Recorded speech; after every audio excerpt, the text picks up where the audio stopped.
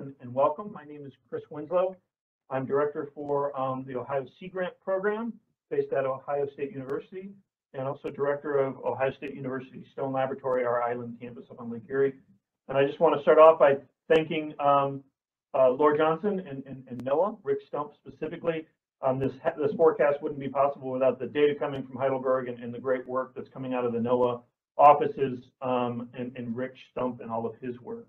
And also we have a, a great lineup of speakers today that, um, that we'll get to after we do the loading uh, information. So the loading numbers for uh, 2021.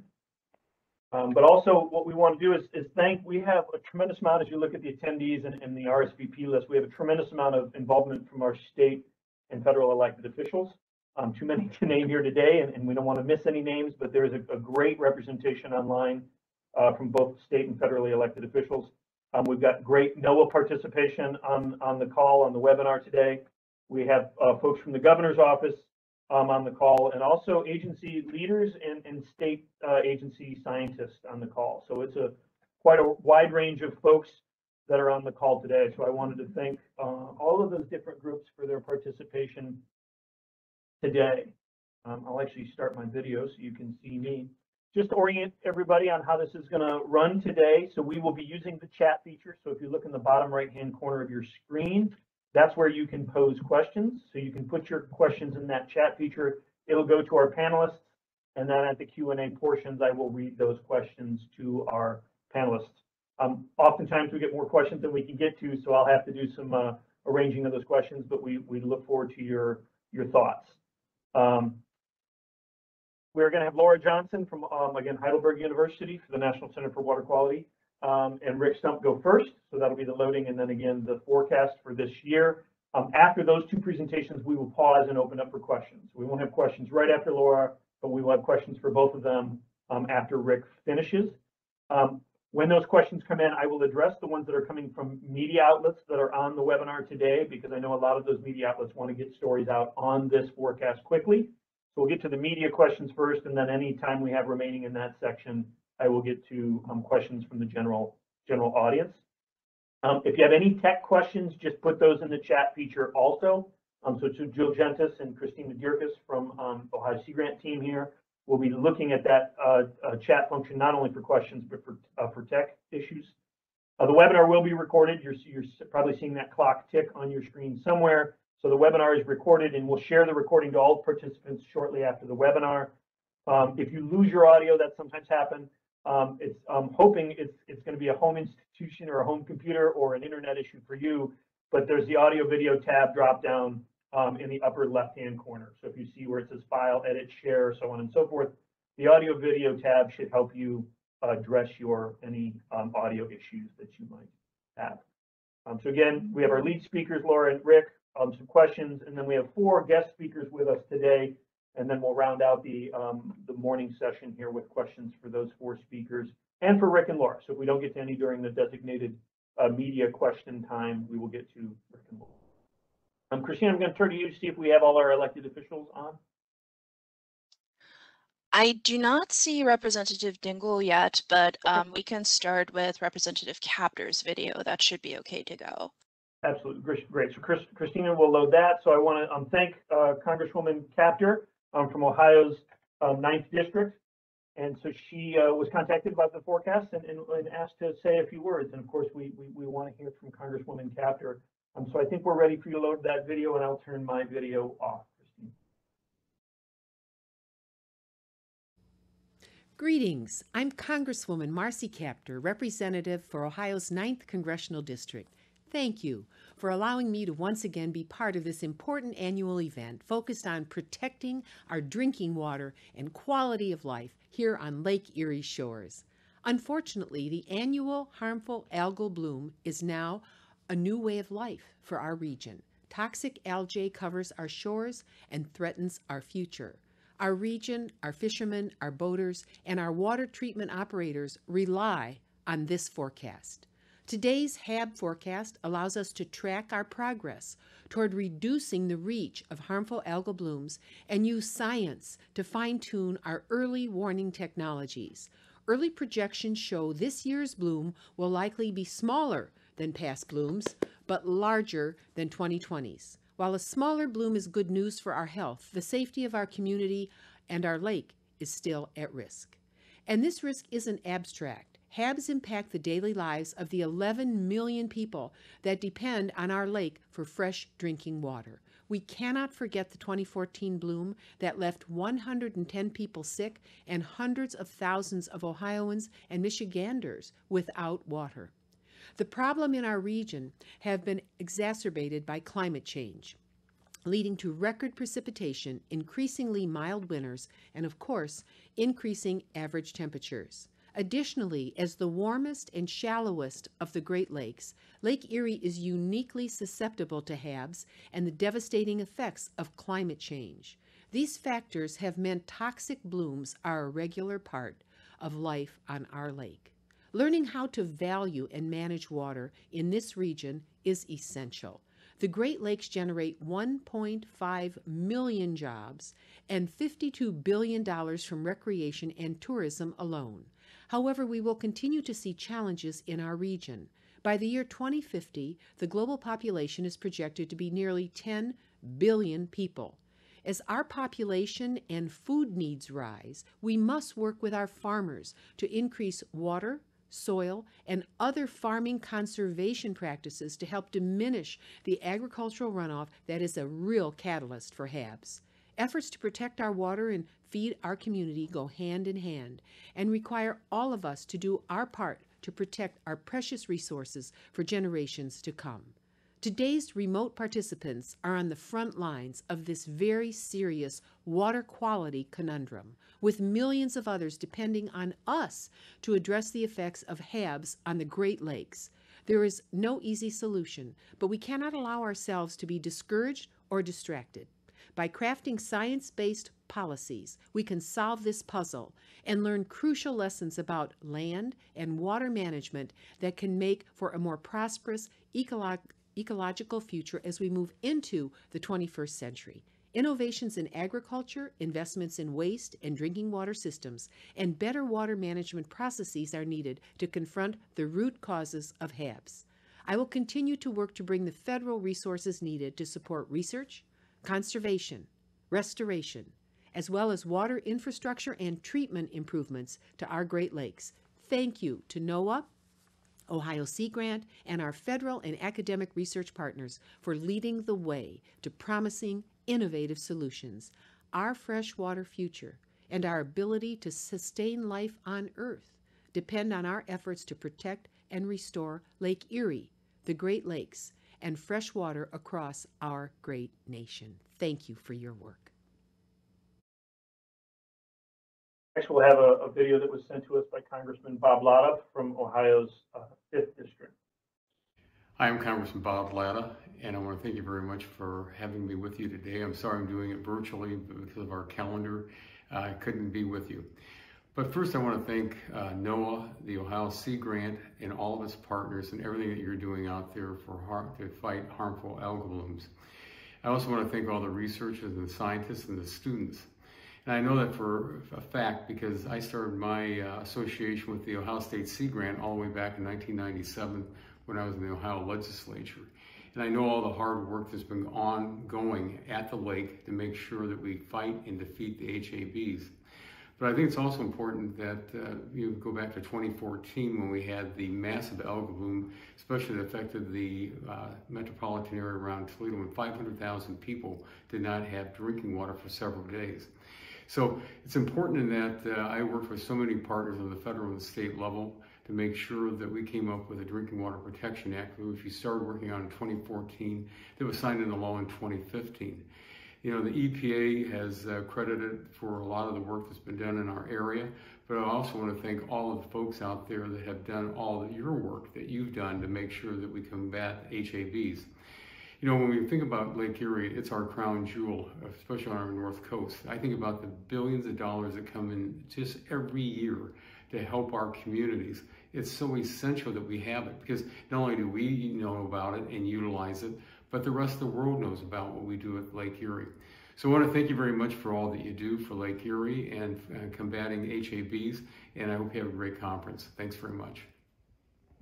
That we're going to um, Uh, moving to our speakers. And so first off, we've got for us today is Dr. Laura Johnson. Many of you know Laura. Uh, she's the director for National Center for Water Quality Research at Heidelberg University. And as uh, usual, Laura is uh, fantastic at giving us the loads for the current um, forecast year. So I'm going to turn it over to you, Laura. Awesome. All right.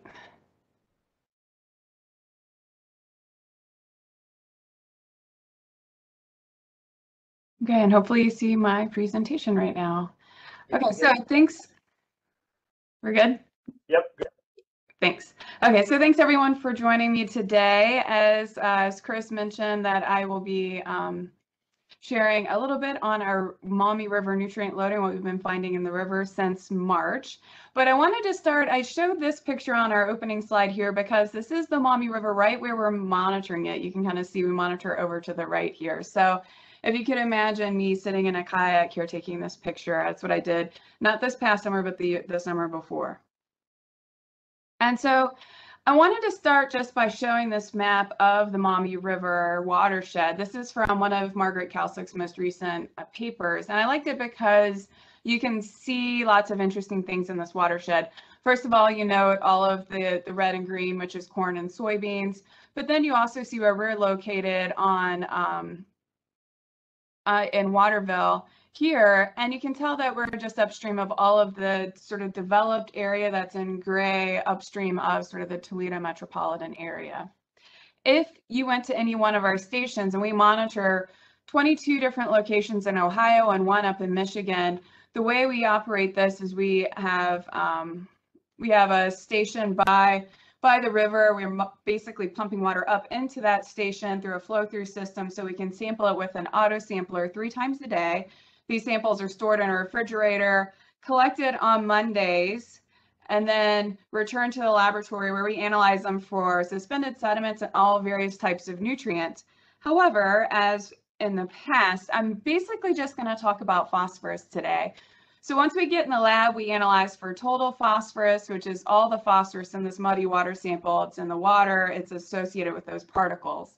But then we also analyze for dissolved phosphorus, which is basically what's left in the water after we filter out all of that particulate phosphorus onto a piece of filter paper.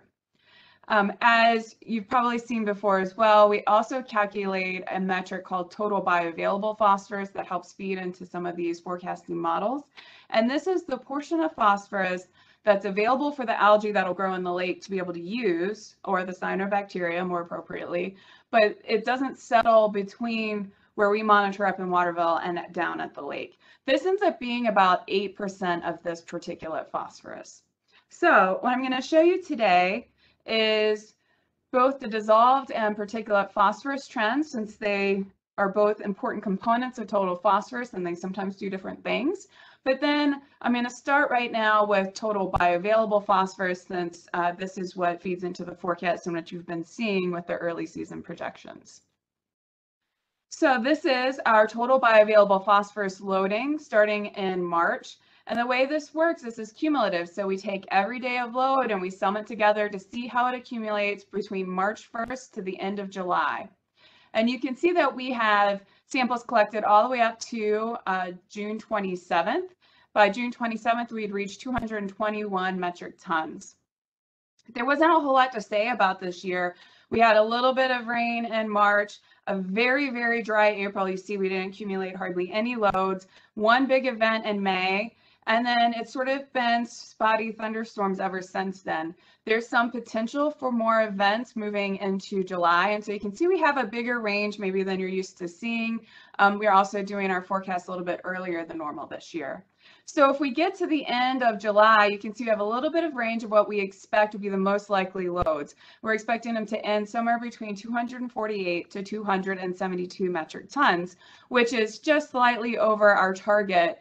If I calculate the target from the dissolved phosphorus and total phosphorus into this total bioavailable phosphorus, it should be 240 metric tons. How does this compare to past years, you ask? Well, funny, I have this graph right here. So what you can see is our maximum um, your cumulative load of total bioavailable phosphorus. This is basically 2015, and our minimum is in blue. That's basically 2012. And we're basic, we're not nearly as high as we were back in 2015, but we're not quite as low as 2012 either. We're actually kind of similar, a little bit lower than where we were last year. And in black, we have 2020, and lower than we were in 2019, which is the purple here. Okay. And so now I want to go into some of the trends, what we've been seeing over time, how that leads to what we're seeing now. I know that there's been a lot of questions recently about um, where our trending is going in terms of, of loads for all metrics of phosphorus. So I'm starting here with stream flow discharge volume. So this is just water, not talking about what's in the water, just the actual volume of water that came out of the Maumee River um, for this March through July time period. And I have this over the entire period of record. So each bar is a different year. The black line here is our five-year running average, so we can see the trends a little better. And then I have 2021 outlined here in black. And in this figure, I have this projected to July 30th.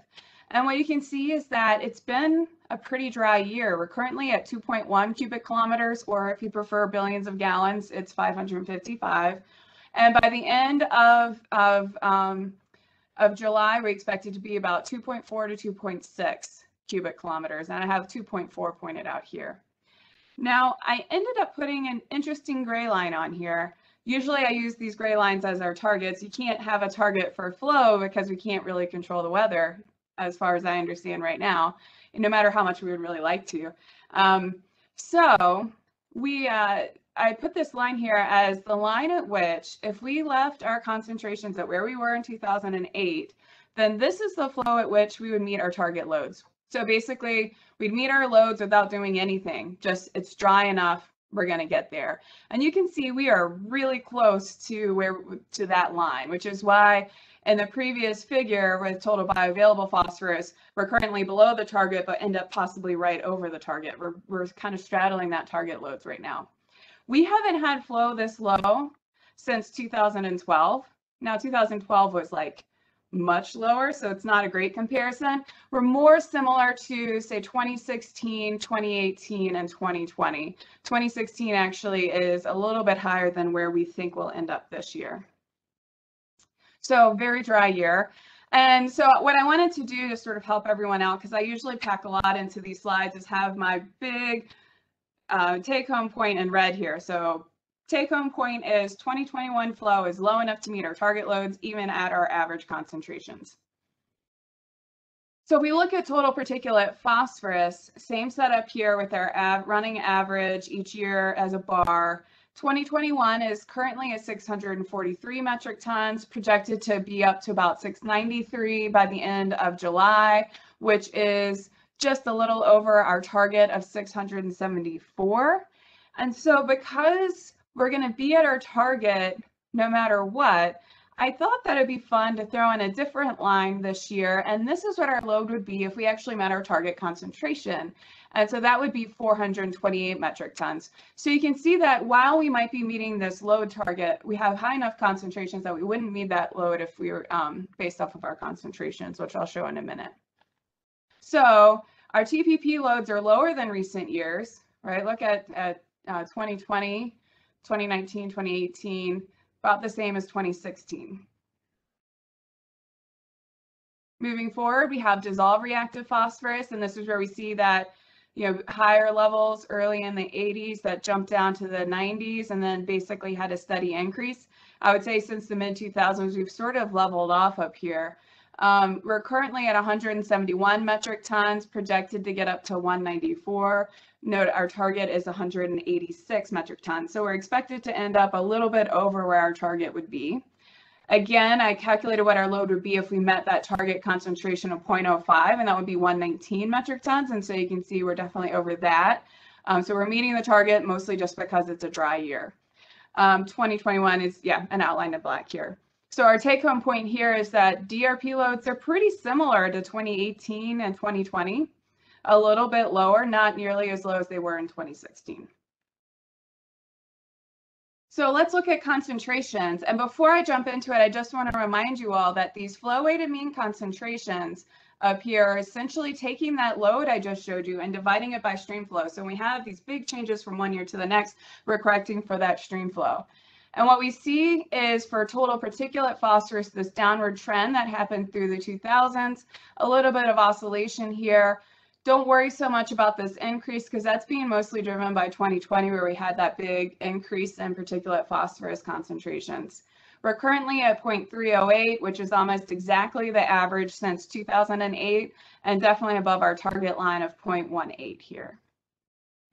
Dissolved reactive phosphorus, that's that very familiar U-shaped plot where we were down at the target or below through the 90s. Saw the increase when we've leveled off here.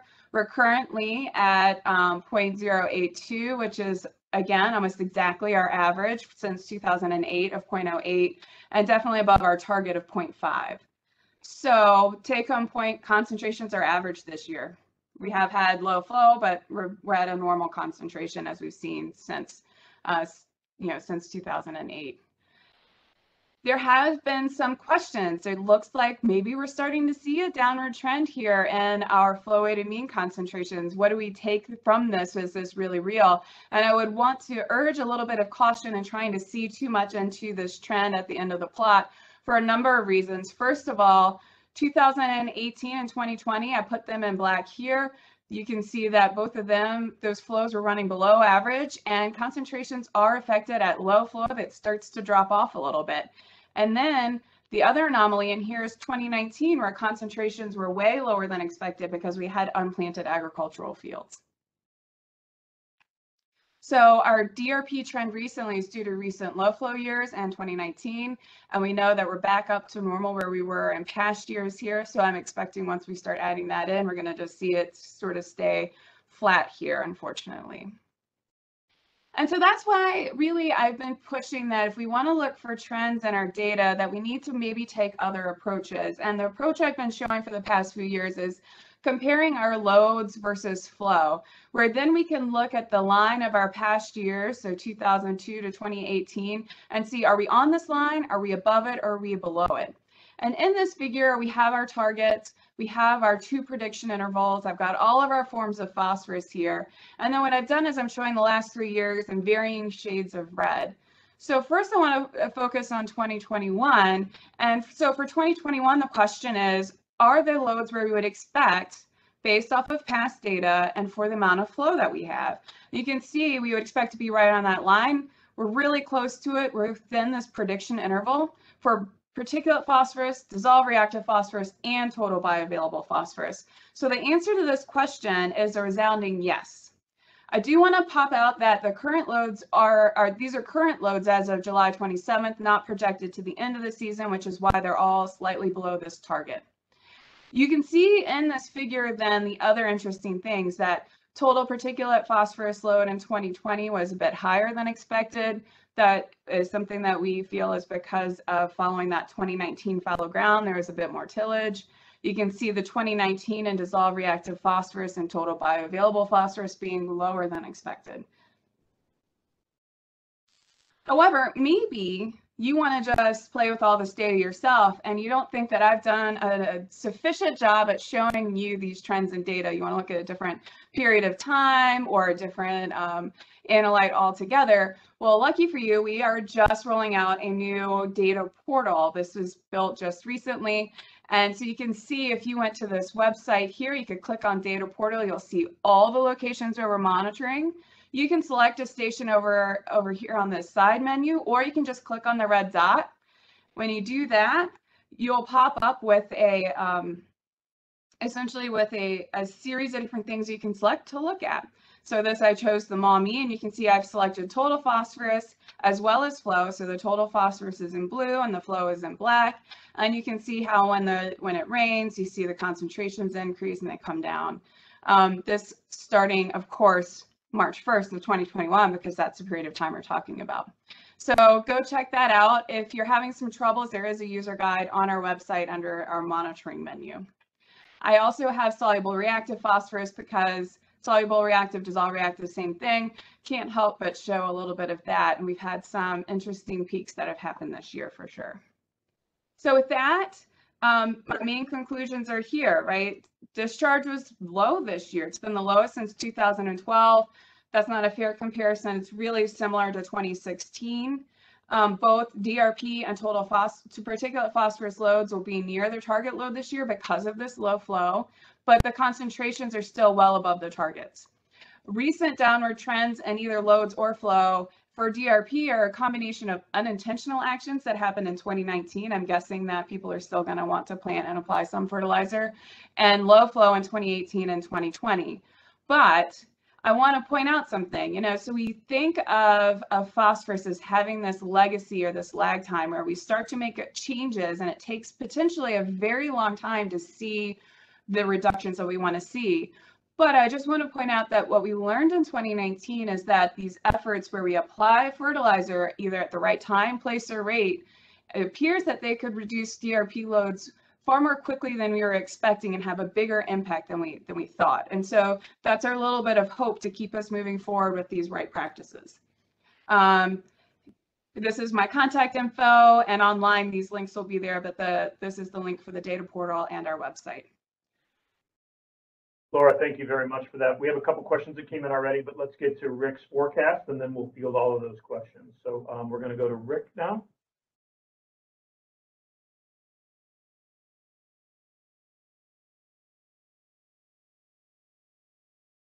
Rick, I've got your slides. Can we do an audio check, please? Okay, can you hear me okay? I can hear you. It's all yours, sir. Okay, great. Thank you so much, Chris, and thank you, Laura, for that, uh, the great description of the, uh, the loads. So that covers a, a huge amount of, of the effort we have here. So our forecast for Lake Erie um, involves a, a combination of efforts. Of course, um, from the backdrop, we've been using our satellite data to um, evaluate the blooms each year. We need Laura's data, of course, uh, the Heidelberg data for the actual loads for the Maumee. And then the models that we apply to, the, to the blooms come from uh, several sources, not only our sources, but also models from uh, Carnegie Institute in Stanford and University of Michigan as well.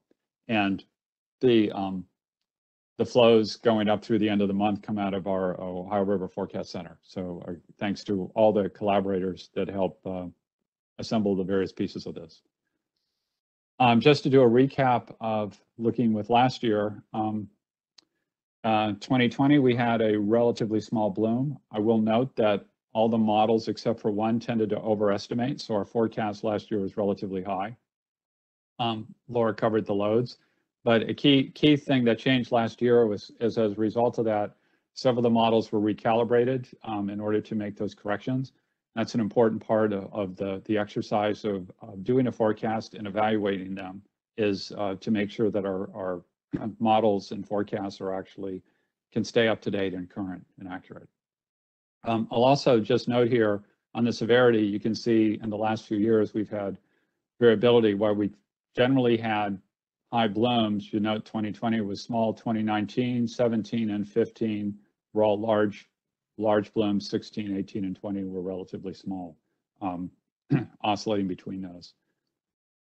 Okay, a uh, different way to look at the blooms. This is the peak of each bloom over the last 20 years. And uh, you can see that uh, um, the peaks were smaller at the beginning of the uh, of this century. And the last few years, they were um, uh, quite variable. I'm just drawing you attention to some characteristics here. If we look at the worst blooms, um, which are 2011, 2015, 13, and 17, those are the four, four worst blooms we've seen, um, how much variability there is. Uh, 2015 was extensive all around um, the Western Basin and well out past there, and, uh, and also going onto the Canadian shoreline. Of course, 2011 reached Cleveland but you had circumstances like in 2013, it was right up against the Ohio shoreline.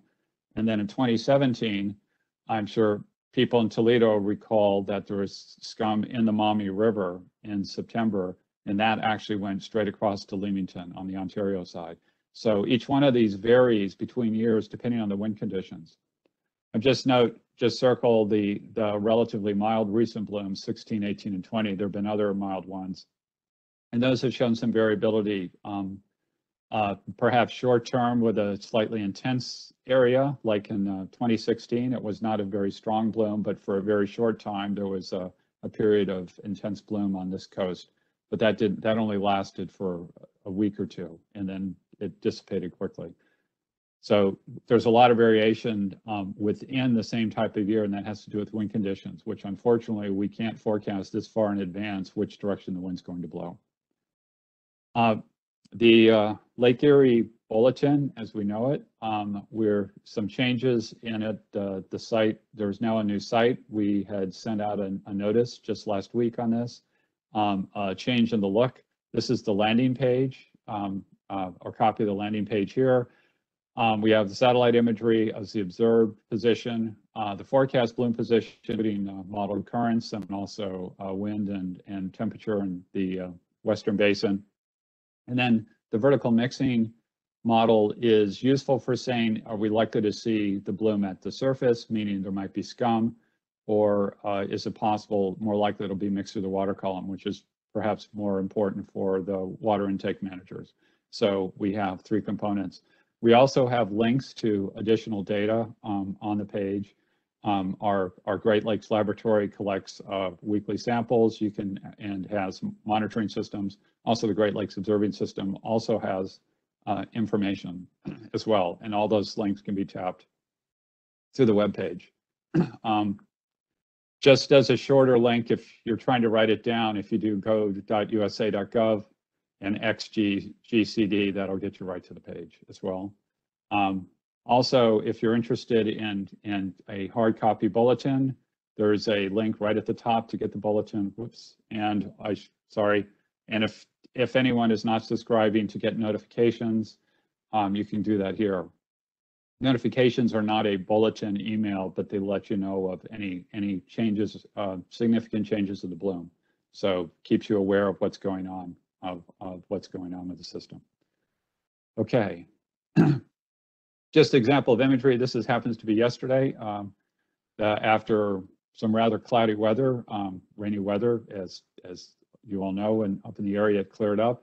And um, there's right now pretty clear conditions. We cannot yet detect a bloom in Lake Erie. There's a hint of cyanobacteria in Sandusky Bay, but um, not very much of that at this time. And in the rest of the lake, for the other areas, we do not yet see, also don't see any any evidence of, of bloom from satellite as well. Cyanobacteria is just at trace levels from the field samples. Okay, um, we use an ensemble of models. Um, we have a I, I won't go into the details here, um, but there's um, empirical, statistical uh, models, uh, Bayesian, um, three different, they're all constructed in different ways, the, the various models we have here, and they're based on the phosphorus loads um, such that Laura described before. Just to recap from Laura's data, um, the current load is uh, uh, so far is 220 uh, metric tons of total bioavailable phosphorus, and that's the phosphorus that's key for the bloom bioavailable phosphorus is what cyanobacteria will take up and use. And by the end of June, we may be up to 270 uh, metric tons um, with the, what we expect with the current conditions. Okay, so um, based on that, we're composing those models. Um, this is what we expect for this year. Um, our forecast is a three um, of a severity, which puts us about the same as last year um, very similar to 2016 and 18. And but a potential range, it could be as small as two, although we'd say that's not the most likely, but it could also go up to 4.5. And this is a combination of some of the uncertainty in the rainfall and also the models have different assumptions into them and so they cover a slightly different range. But what we're looking at fundamentally is a bloom similar to last year. What I'd like to note is for the first time in a decade, we're actually looking at two consecutive years uh, with a relatively mild bloom, 2020 and this year. We'd have to go back to 2007 to actually have seen something similar, given the wet weather. And this overall reflects the lower than average spring runoff that we have, um, the, all the, the, the, information Laura just captured.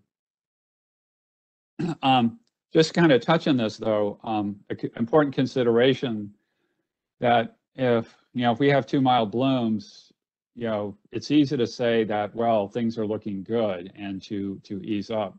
Well, um, a key, key thing is we have been in a wet period and we may be going in, perhaps we're going into a dry period. And this graph shows the discharge from the Maumee River going back to 1939. You can see there have been wet periods uh, about every 40 years, exceptionally wet, and then also periods of dry weather.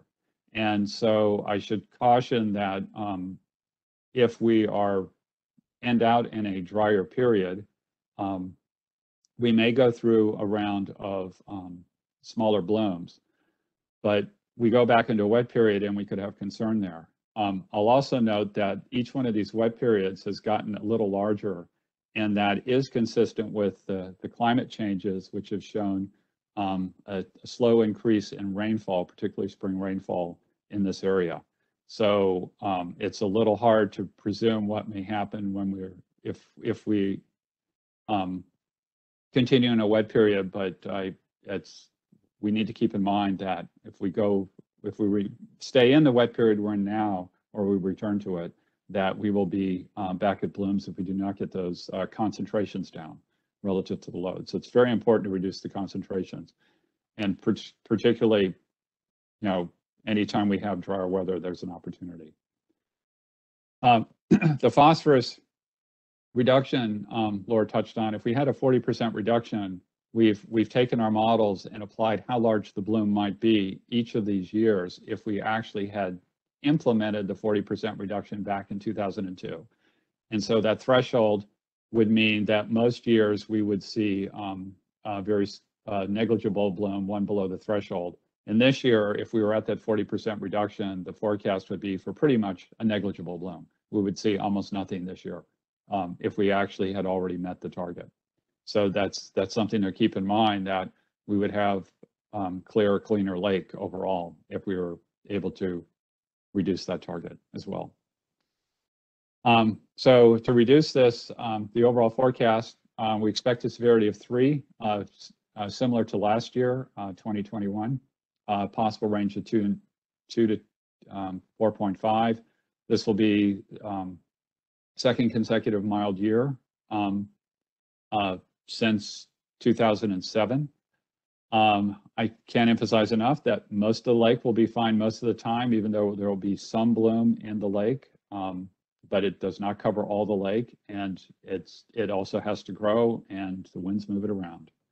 Again, second consecutive year of smaller bloom, and this is resulting from a drier spring. Not this is from low flow, not a reduction in the actual concentration of nutrients going into the into the water.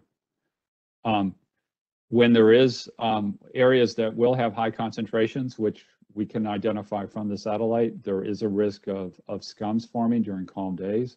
And it's important to um, check for that. Can't emphasize enough that um, toxins, there's always some toxin in the bloom and scums are what concentrates it the most. And so it's important not to go swimming in that and also keep, keep um, keep your dogs out of the water also. Um, that's it's quite dangerous for dogs because they're swimming right at mouth level and they don't need to ingest this stuff. Um, our our bulletin has the bloom location and intensity and forecast is where it's likely to be. So you can continue to monitor that. And again, the bloom impact on the Western Basin varies with winds. With a milder bloom this year, if we're doing well, we'll tend to have southwest winds, which will tend to keep it out and disperse more in the middle of the basin. Um, uh, worst case is going to be the calm wind conditions overall. So that wraps up our forecast, and uh, thank you very much. Rick, thanks for that. Um, I'm going to open up my video and audio here. So we do have a couple questions that came in from our um, media attendees. So the first one I'll read for you. And of course, Laura, if you want to open up your audio, if this is something you can field. From Kathy Kowalski. She's a freelance for uh, Energy News Network, Science News for the students, and other publications. Um, are the higher lake levels we had for the last two years still having any effect on the expected algal bloom size? Uh, the higher lake levels have not shown um, a obvious impact on the bloom. Uh, it is slightly possible that the the flow through the Detroit River may be slightly reducing, may have slightly reduced the size last year. Um, but so the higher lake level overall causes a greater flow in the Detroit River coming through the lake. So that may have moved a little more water through because last year was, that may partially explain part of the underestimate as well. But otherwise, there's no other particular impact of the high lake level. It's not enough to dilute the water coming in, if you're asking that question. That's, it's more of pushing water through the lake is the bigger factor. Thank you, Rick. Coming at it from another one, and I believe this has already been hit here, but uh, it's Danny Eldridge um, of Hannah News. Um, Laura, when you mentioned target loads, what target is, is, is this talking about? Is this the one Ohio agreed with other states and Canadian Providence or something else? Just to clarify, that is the Annex Four target, correct? Yeah, I'm using the Annex 4 targets, although technically they're somewhat redundant, although I think that that agreement occurred actually before the Annex 4 loads were officially out, in fact. And should say that's the Great Lakes Water Quality Agreement, Yes. just, just so Correct. people know, Annex four the Great Lakes Water Quality Agreement. I, you know, I For had a whole For those slide who are where I not in the went know. over, I had a whole slide where I went over all of those loads, but it, it was too much time. And I apologize using the term annex. That is, the Great Lakes Water Quality Agreement has multiple annexes that address, you know, issues that are in the Great Lakes, and the one that addresses nutrients and harmful algal blooms is called Annex Four. I apologize for that, get caught in my, my terminology. Um, So Christy Frank, um, freelancer, how is the target load calculated? What, why, so that's question one, why the decrease in phosphorus prior to the nineteen nineties and then consistent increase? So question one is how the target load was calculated. Yep. Well, so that was done through a series of different models. Actually, Rick was part of it, and he could probably speak to that a little bit more than me. Um, so maybe Rick, I'll let you have the floor for that one. Okay, the, we had, we had run a series of models of the various concentrations and these were models similar to what we're using here in order to say how large the bloom would be for different loads. And with the combination of models, we were able to come up with a, a set of conditions that if we had this amount of load going in, this concentration, we would expect these blooms of this size. And from there, we identified what, what was generally recognized as a tolerable size, acceptable size of a bloom. That's a little strong to say acceptable, but that was where we were. And so the idea was to hit that load that would reach that acceptable bloom size. And that, that hits the target. So then I think Laura, then you can answer the other part. Yeah, yeah. So, um, you know, the the second part was asking about why do we see an increase, especially in the dissolved phosphorus, since the 90s through to more recent, you know, through to the 2000s. And you know, that's one of the questions I get a lot, and it's very difficult to answer because everything changed in in agriculture in the mid 90s. Um, we basically uh, you been able to attribute these changes to changes in in agricultural practices, but a lot of these things include, you know, conversion into um, more conservation tillage, meant larger pieces of equipment, which leads to more soil compaction. It also means to changes in how fertilizer is uh, mixed into into the soil and the development of um, what we call phosphorus stratification in the soil. The other thing that happened is, um, you know, tile drain intensity increased in the 2000s as well um, just so that uh, you could drain the fields a little bit more quickly because that leads to a noticeable benefit for crop yields. I think there's other things that changed as well, and I know I'm missing them. There's a paper that lists about 100 of them, but I would say the most recent sort of um, hypotheses that it seem to be converging a little bit is that the reason we see the increases and these losses in dissolved phosphorus are a combination of, you know, of phosphorus on the surface of the soil, leading to an accumulation of phosphorus combined with um, tile drains. And what ends up happening is that they develop these, what we call macropores. It's like highways between the surface and the tile drain, that subsurface flow that helps push dissolved phosphorus into that drain. And that's why it leaks out.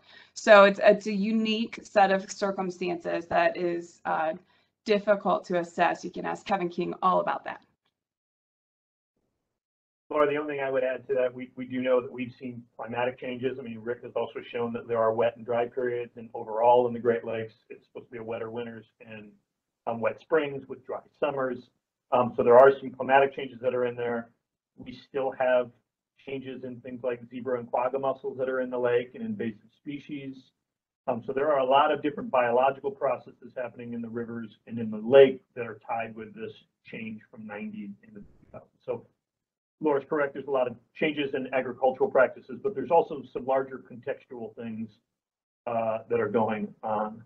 Got another question in here that I'm going to read from Kathy. She's referencing though the the in the 2019 the big bloom in the central and eastern Lake Erie that had some impact on swimming beaches and the like. Um, and she wondered if there was any way to similarly forecast these events. Number one, and also is this a different type of cyanobacteria that are driving these blooms?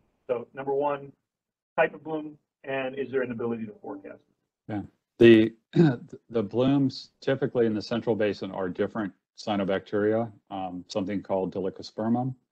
And uh, it's most common in for a couple of weeks in July. Um, the eastern lake, um, Presque Isle Bay gets some blooms, but it's often microcystis. That's a local bloom also. And each one of those are, and then you can get patchy blooms near some of the river mouths going up the Ohio coast. Uh, uh, right now, um, we have a poor understanding of the Central Basin bloom. Um, it's a difficult place data. And so we can't, right now, we don't have a means to say when there's going to be a bloom um, in the Central Basin that's substantial.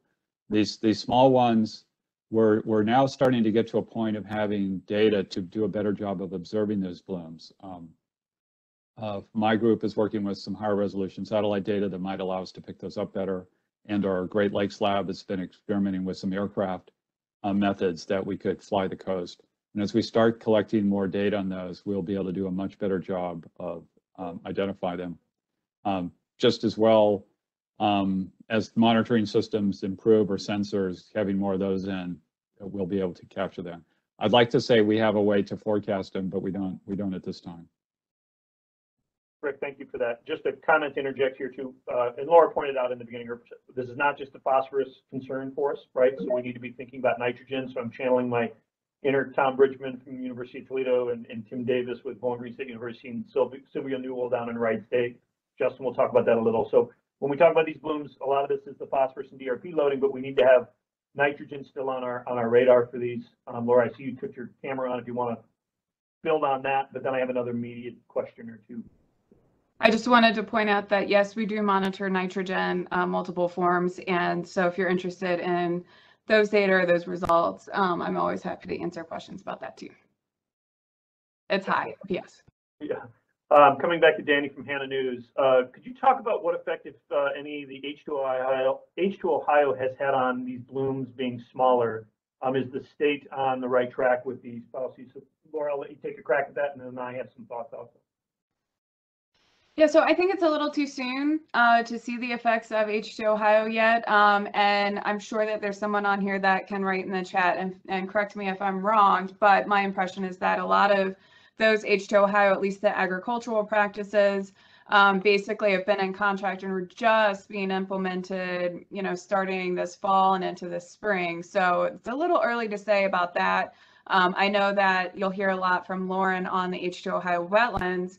And those projects, um, the first batch of them are just newly constructed, starting really this spring. So they, we still need a little bit more time for all of these things to, to sort of pick up speed. Um, so I would say we can't tell yet, but I am very hopeful, especially with the agricultural H2 Ohio practices, because there's a big focus on nutrient management. And what I mentioned at the end of my talk was that really that nutrient management I think is going to be really key, especially if we can start thinking about where we're applying our phosphorus.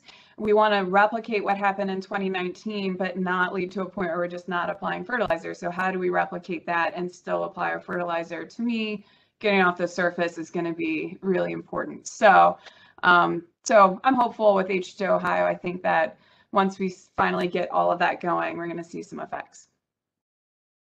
And so just to build up on that, not only is it, you know, early as far as deployment, um, getting those practices in the ground, takes a lot of staffing from ag to, to make those relationships and those possible. But also we're gonna remember there's a lag effect in a lot of these things. So even if the deployment of that is in the field, those things to take a hold and, and do what they're intended to do, there is a, a lag period there. And then also know that we're faced with Mother Nature showing wet and dry years at us. And so it's tough to sign, sometimes we're getting better at that, but to tease those apart. Was the bloom totally because of a, a wet, wet year, or was it for some other reason? Um, I would also say, and, and Laura references pointing to 2019, um, if, if we do the four R practices, right rate, right time, right source, right place, 2019 showed us that if, if you know those those practices are happening, you can see a, a pretty quick reduction in the total phosphorus and dissolved reactive phosphorus making the system. So I think the things that H2 Ohio is funding to put into the field are the right things to be doing. So it's exciting to see what will be unfolding over the next couple of years.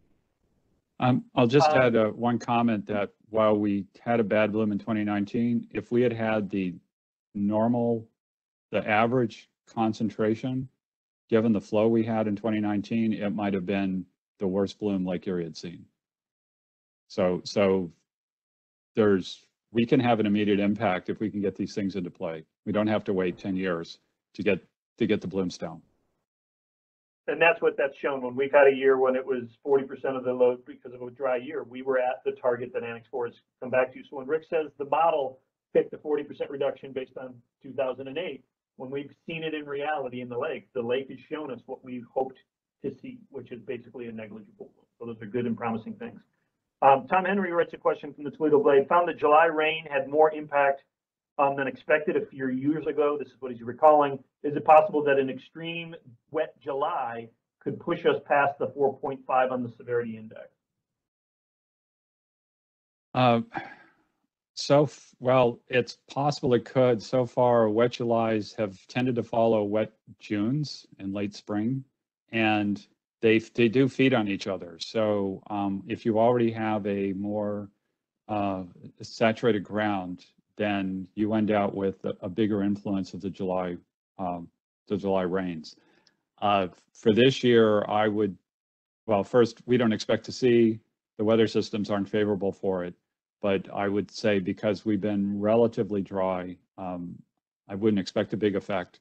Let's hope we don't ever act, nature doesn't actually throw that at us from a full-blown experiment. But July loads do matter, but typically the wet Julys have followed wet Junes pretty consistently. Good. Um, I've got another one here. This one's from, um, Tom Jackson. It's, the question is, is a forecast of three on a scale of ten? And what was the size of our biggest bloom? And so I know twenty eleven makes, or twenty fifteen makes that a weird one, Rick, but do you want to talk about that? Yeah. Okay, we, we set up the scale, um, and this was after, uh, 2011. And so we needed a, a logical stop. And as 2011 was big, we figured there couldn't possibly be another bloom that size. So we set the scale based on 2011 as being a 10. 2015 was bigger. So it ended out being 10.5 on a scale of one to 10, I guess you could put it. But um, te- technically, the scale can go up higher. Um, but it's um, uh, I we shouldn't expect to see that again. Rick, thanks for that. That's all the questions that I have coming in from um, media folks in front of me. We can, if we get some that trickle in later, we can ask them at the next round of Q and A. I'm going to turn it over, Jim, if you can get your uh, video started to make sure we have a connection there. So the next speaker for us today will be uh, Dr. Jim Hood. He's an assistant professor for the Department of Evolution, Ecology, and Organismal Biology at Ohio State University. He will be one of the next four speakers that we have. Um, after these four speakers are done, we'll open it up for Q and A again. That Q and A can be for these four speakers, but also uh, we hope you ask any follow-up questions you might have for Laura and Rick. They will be sticking around with us. And I, I am seeing some more questions already trickling in. I will mention that folks did submit some questions via um, the, the registration for this event. So if we don't get all the questions um, or we don't get enough questions during the Q and A, I will try and read some of those. Unfortunately, we got so many questions via the registration that we won't be able to get to all of them, but we'll do our best um, to consolidate some of those. So Jim, let's do, I see your screen is perfect. Can we get an audio check? Yep, can you hear me? We got you. It's all yours, sir. All right, great. Thanks, Chris. Uh, I'd like to thank the organizers for giving me an opportunity to talk to you. Today, I'm going to talk about the role of rivers in shaping phosphorus exports to Lake Erie. So as Dr. Johnson and Dr. Stumpf have already told us, harmful algal blooms in Lake Erie are driven by March to July phosphorus loads from the Maumee watershed. And as they've emphasized, we know that uh, dissolved reactive phosphorus and bioavailable phosphorus loads are particularly important in fueling harmful algal blooms. Phosphorus management uh, requires understanding the sources of that phosphorus. And our current model for determining those sources assumes that phosphorus moves from the landscape, enters the, the ditches and streams, and moves through ditches, streams, and rivers downstream and is exported to Lake Erie. Currently, we assume that particulate and dissolved phosphorus that's moving through the river systems just moves downstream like water through a pipe. So these river systems are neither a source for phosphorus or a sink for phosphorus. This is a really great simplifying assumption for management and for modeling. But what I'd like to address here is whether or not that's a that assumption is correct. And to sort of get a little bit ahead of myself, uh, my argument is that it probably isn't. And to think about this, it's useful to split systems into two periods. Periods, river systems, periods with low to moderate flow, which represent about 15% of March to July dissolved reactive phosphorus exports, the most bioavailable, and periods with high flow, which represent about 85% of March to July dissolved reactive phosphorus exports. During low and moderate flow, we know in general from science that streams and river systems can be phosphorus sources or sinks, but we we know relatively little about those processes and the balance of source and sink behavior in the Maumee watershed. Similar to that, under high flow conditions, we know that stream and river systems can add sediment to rivers through erosion and can remove sediment phosphorus via deposition on the floodplains. However, it's generally assumed by scientists that dissolved phosphorus is piped downstream passively. I'm going to talk about some work later that, that challenges that assumption, but first I'd like to ask, why is why does this matter? Why do we care what's going on in the river? And the the answer to that is it's because it has strong management implications for our ability to manage phosphorus. If phosphorus is being piped down to the river, so the size of that arrow isn't cha being changed by the river systems, we don't really need to worry about these systems from the standpoint of managing phosphorus. However, if the river systems are a phosphorus source, so the amount of phosphorus is increasing, streams and rivers are contributing phosphorus to exports, and so they're contri also contributing to cyanobacteria blooms, and they're part of the problem that likely requires management or restoration.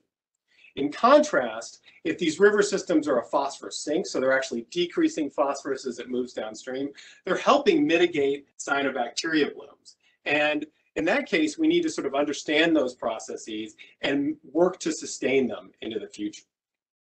So our overarching questions here are, do streams and rivers act like pipes for phosphorus, or are they phosphorus sources and sinks? If it's the latter case, where and when are they phosphorus sources and sinks, in space or in time? And through which processes or mechanisms? And should we manage these systems differently once we have this information? And to get at this in this short talk, I'm going to focus on these high flow periods, which are um, dominate dissolved reactive phosphorus export to Lake Erie. And so this work is the work of Whitney King, who was a master's student in my uh, lab group here at Ohio State. And she was work, she was interested in testing this assumption that um, during high flow events, during storm events, river systems are just passively piping dissolved reactive phosphorus downstream. So she selected these six sites shown here with the uh, red dots. And between January and June of 2019, she chased storm events up there. So every time there's a storm event, she went up and sampled phosphorus cycling in the river. She managed to capture 13 storm events, uh, which resulted in 78 total measurements, 75% of which result uh, met our criteria for high flow. So what did Whitney find? In, in general, she found that during high flow events, sediment being transported downstream was a phosphorus sink. And so this is this basically explains what's happening. It, during these high flow events, you can think of phosphorus in these rivers in two compartments. In one compartment, phosphorus is bound to the sediment. That, that phosphorus is less than 20% bioavailable. And then in the other compartment, phosphorus is dissolved in the water column and it's 100% bioavailable. And what Whitney found was that these sediments were binding phosphorus to the sediment. And therefore, they were not reducing the total amount of phosphorus exports, but they were definitely reducing dissolved phosphorus exports and the bioavailability of phosphorus exports. And so this plot shows uh, the rate of phosphorus binding from the sediments on the y-axis versus the sediment concentration on the x-axis. Each color is data from a different stream. And you can see that the phosphorus binding rate increases with the amount of sediment in the stream. So more sediments, more phosphorus binding. But the big question here is how much that matters to phosphorus exports to Lake Erie and algal blooms there. To get at that, we took phosphorus binding rate measurements from Whitney's data, combined them with uh, Maumee River suspended sediment concentration data and dissolved reactive phosphorus data from Heidelberg, some of which Laura's already shown you. And we used that to estimate dissolved phosphorus binding by all sediments leaving the watershed. And to, to illustrate this, I'm to I'm to show you here. This is March to June dissolved phosphorus loads during high flow events. It's very similar to what Dr. Johnson has already shown you from 1975 to 2019. And what I'm going to do is is estimate what these loads would be in the absence of phosphorus binding. So if we removed all the sediments from the streams, or if we were somehow able to shut off that process. And what we see here is that without phosphorus binding, dissolved reactive phosphorus loads to Lake Erie would be much higher. And the red ribbon illustrates how much higher. Sediment, over this period, sediment binds between 20 and 300% of dissolved phosphorus exports to Lake Erie. And if we focus on this period between 2003 and 2019, when we've seen the reemergence of these cyanobacteria blooms, we see that sediment reduces on average dissolved phosphorus exports by about 24%. So this results, these results indicate that the Maumee River system is likely a phosphorus sink and that the system is actually uh, constraining cyanobacteria blooms in the lake likely, but it's very difficult to estimate how much of an effect that's having. So to summarize here, uh, during high flow periods, Whitney's work is showing us that during spring and early summer, the Maumee River system is likely to dissolve phosphorus sink. Phosphorus binding rates are tightly correlated with the amount of sediment during in transport during these storm events. But I would emphasize that there's a lot that we don't know about the spatial variability in uh, whether these systems are sources or sinks for phosphorus. And there's a lot of assumptions that need additional validation.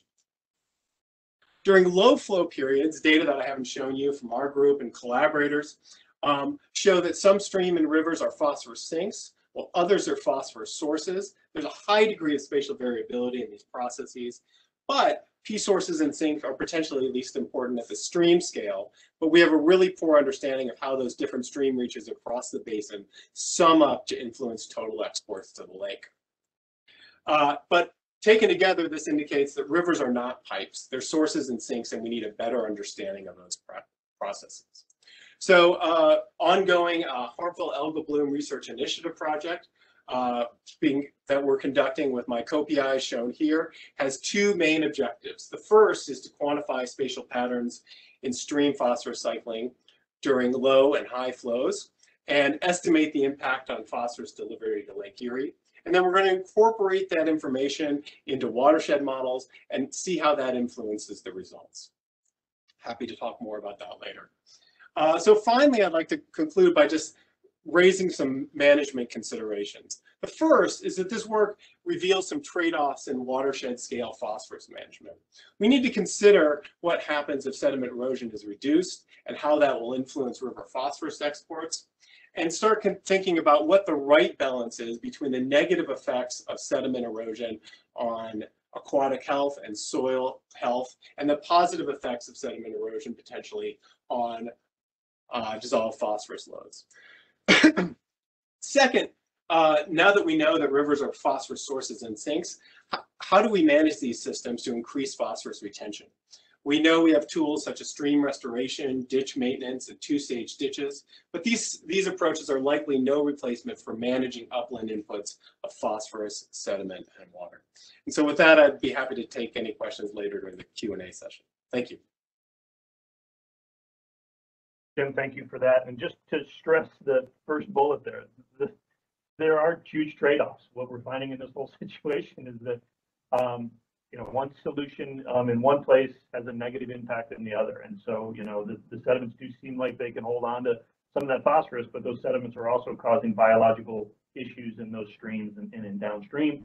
And that sediment is the stuff we want on our producers' fields because that's a, that's healthy soil to be growing crops in. So this is just introducing some very, very early work that uh, we're excited to see, but lots more work to be done in this space. So Jim, thank you for that, and, and we'll go to the next speaker, and then I'll bring on some questions for you here towards the end. Thank you, Chris. Yep, that- great, E- excellent. Next, we're gonna bring on Justin Chapman, who's a research coordinator for Ohio State University Stone Lab and, and Ohio Sea Grant. So we'll see if you can get your video up, uh, Justin, and we'll see if we can check the. I'm seeing your whole PowerPoint. Great, now it's the slide. Why don't we do an audio check real quick? Hello, can you hear me? I got you, Justin. It's all you, sir. Go for it. All right.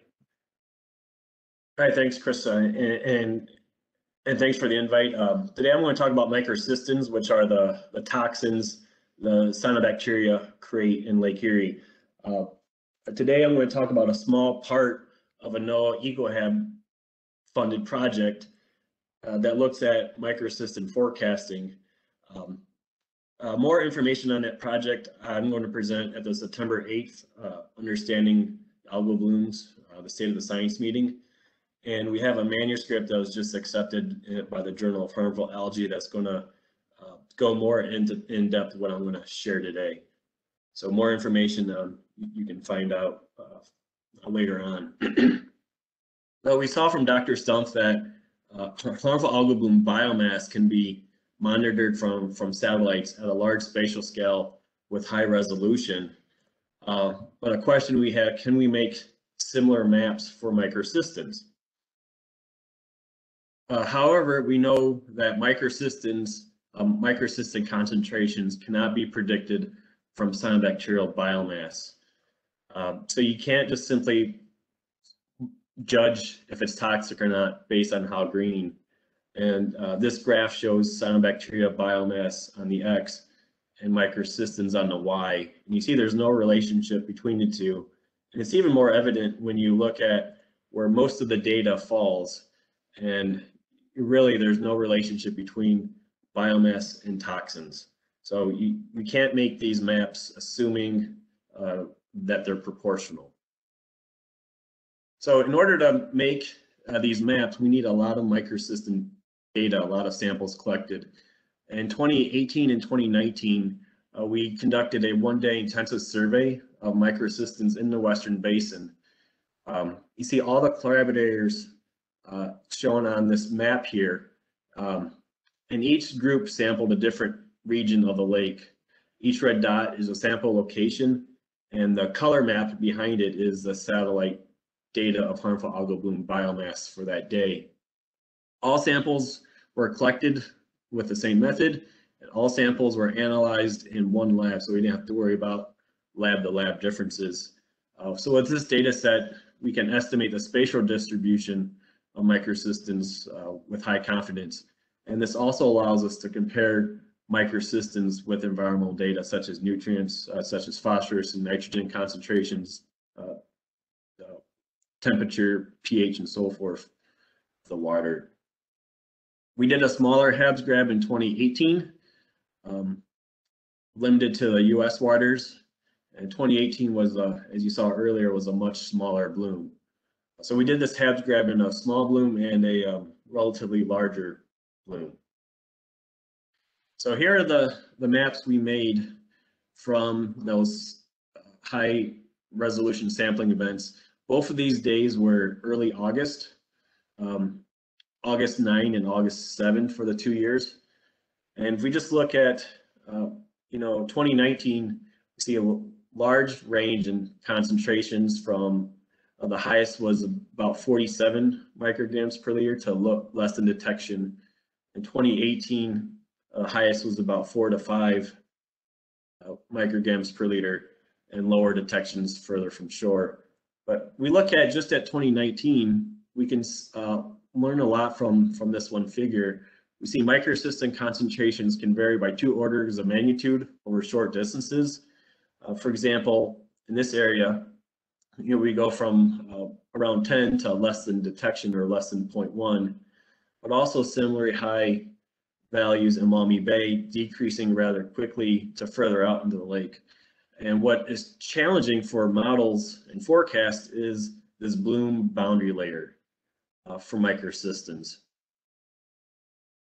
Also, we want to look at um, the ratio of microcystins to chlorophyll. Um, so we see that the ratio of microcystins to chlorophyll was not consistent. Um, the dark or the redder colors on this map indicate that there's more toxins per biomass. So the yellows and the oranges are there's these cells, this bloom out here is more toxic per cell than it is further out. In 2019, we see higher, more toxic microcystis, more toxic cyanobacteria along the Ohio shoreline in Maumee Bay and up into Michigan.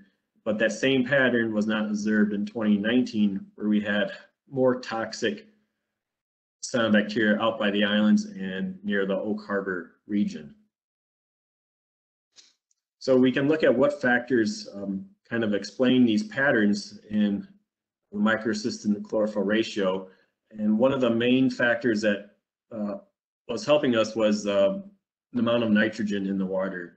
So we saw less microcystins per chlorophyll at low nitrogen concentrations. And that's what these two plots show here, um, especially evident for 2019, which are the, the yellow, uh, the open circles. And note, we did not see similar patterns between phosphorus, the N ratios, or any of the physical water parameters. Um, so nitrogen had a influence on how toxic microcystis was. So, you know, we, we made those maps with uh, 100 samples or 172 samples collected on one day. So can we make it for other datas? Uh, for, I'm sorry, for other dates. Uh, fortunately, there's lots of microcystin data in Lake Erie. Uh, water treatment plants are collecting data at least weekly. Many groups of researchers are collecting data weekly to monthly, and we have um, several charter boat captains who collect samples for us weekly. So there's lots of data available in Lake Erie. However, when you get into that data set, there's still challenges uh, with spatial interpolations um, when there's a few samples collected on each day. For example, uh, August 1, 2016, uh, this one particular date has 16 samples collected. But as I shown earlier, that bloom boundary layer can pose challenges, you know, like what's happening between these two points here. Where's the bloom boundary layer at? You know, what's happening, you know, between here. Looking at microcystin data alone um, is really challenging. And it's even harder to impossible on days when you only have two samples, right? So what's happening between these two data points is um, extremely difficult. So to uh, conclude, um, and we called that one day survey HABSGRAB. I think I might have forgot that, but uh, conclusions from the HABSGRAB survey, um, the high spatial resolution microcystin data set allowed us to estimate the spatial distributions of microcystin in, in the Western Basin. Uh, this is analogous to a satellite image. However, these estimates and these maps would not be possible with fewer samples. It is not feasible to, uh, to routinely collect 100 or more samples on a given day. Uh, so that is uh, a challenge we're working with. You know, how do we get more data and how do we um, improve modeling uh, when there's less data available? Uh, so some implications for microcystin modeling and forecasting. Again, that bloom boundary layer poses challenges for microcystins um, as concentrations can uh, rapidly change over short distances. Uh, the microcystin to chlorophyll ratio is not consistent. if you're familiar with uh, Lake Erie, it's relatively well known that over time there's a, a change. So from summer into late fall, that ratio tends to decrease. But what we saw spatially is that there's as much differences, as much variation in the microcystin chlorophyll ratio as there is temporally. And we saw lower microcystins of chlorophyll at low nitrogen concentrations, uh, indicating a nitrogen limitation of, of toxin production. Uh, so just finish off with some acknowledgements, uh, the NOAA EcoHab team, uh, NOAA EcoHab for funding and our collaborators on the on the large project and uh, the authors of the um, uh, the HABS grab paper that is should be coming out in a couple weeks in harmful algae. So I'll, I'll be around and be happy to take questions later. Thank you. Justin, thank you very much for that. Um, so next, we're going to come into our third speaker of this second session. So Dr. Uh, Lauren Kinsman Costello, she's an assistant professor um, in the Department of Biological Sciences at Kent State University. So Lauren's going to talk to you about uh, Learn and some H2O HIO efforts with the DNR. So Lauren, um, see if we can get your screen to show. All right. Thanks for that presentation.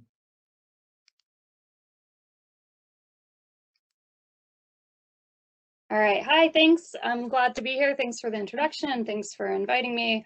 Um, as Chris mentioned, I am representing um, a group of researchers that are members of the Lake Erie and Aquatic Research Network, or LEARN, um, that's developing a program to monitor the wetlands that are being implemented as part of the H2 Ohio initiative by the Ohio Department of Natural Resources.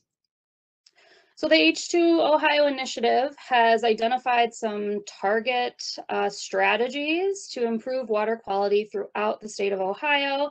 Um, as was mentioned earlier, this initiative is in its early phases, but implementation of these strategies is moving very fast. Um, strategies include implementing best management practices to reduce phosphorus on the landscape, creating wetlands, addressing failing septic systems, and preventing lead contamination in drinking water. Today, we're just going to talk about the part of the H2 Ohio initiative um, that relates to implementing wetlands on the landscape, and ODNR is um, overseeing this. So the ODNR has already supported 57 wetland projects throughout the state of Ohio, um, and they're in various stages of construction. You'll notice that they have prioritized projects in the high priority Maumee Basin, but have um, implemented them throughout the state where they see opportunities for projects that will improve water quality. Um, these projects represent a really large range of strategies that are typically used in wetland restoration and wetland construction and um, even a lot of new techniques. So they include things like reconnecting diked coastal wetlands to their watersheds and to Lake Erie. Um, disrupting tile drainage in historically drained agricultural land to allow um, wetland hydrology to return to these former Great Black Swamp farm fields. Um, and uh, also relatively highly designed and engineered treatment train structures that are really fine tuned for water quality improvement.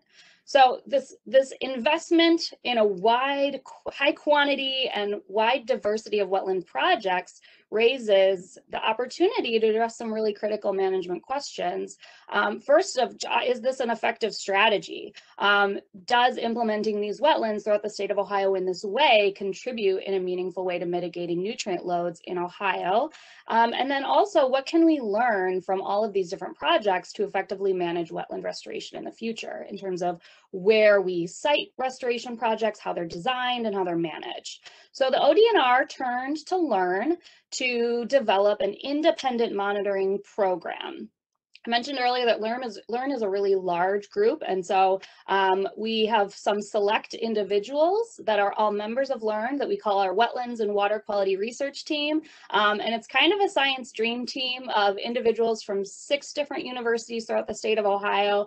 Um, all of our team members aren't even pictured here, and I can't introduce each and every one of us to you, um, but suffice it to say, it's kind of a dream team. It includes hydrologists, soil scientists, plant ecologists, soil geophysicists, and people with a lot of long and deep expertise in aquatic ecosystem monitoring and nutrient biogeochemistry.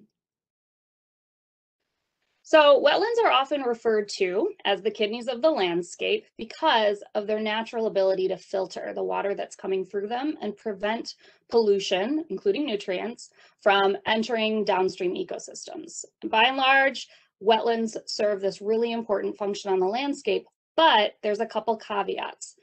Sometimes some wetlands can actually be a nutrient source rather than a nutrient sink. And that means that rather than stopping those nutrients from going downstream or at least lessening them, they can actually produce extra nutrients, especially phosphorus.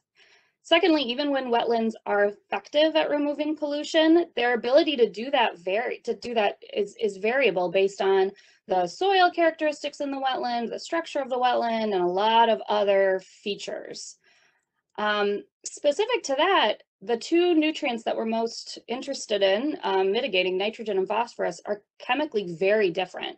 So a system that has a specific set of components that's really effective at removing nitrogen might not be as effective at removing phosphorus and vice versa. Now, the existing monitoring frameworks that we have for wetland ecosystems have been designed explicitly to assess their general health in a really comprehensive way. So these are things like the Ohio Rapid Assessment Method that's used uh, for regulatory purposes and general monitoring, as well as the Great Lakes Coastal Wetland Monitoring Program. These uh, widespread monitoring programs generally use visible structural features, things you can see, like what kind of plants are there and how many different kinds of plants are growing. Um, what are the substrate characteristics? Is it soil? Is it rocky? And just how big is the wetland? How many acres has, has been restored or constructed? Um, and then they assume that based on these structural features, these invisible, difficult to see, difficult to measure nutrient cycling processes are occurring and this function is being performed.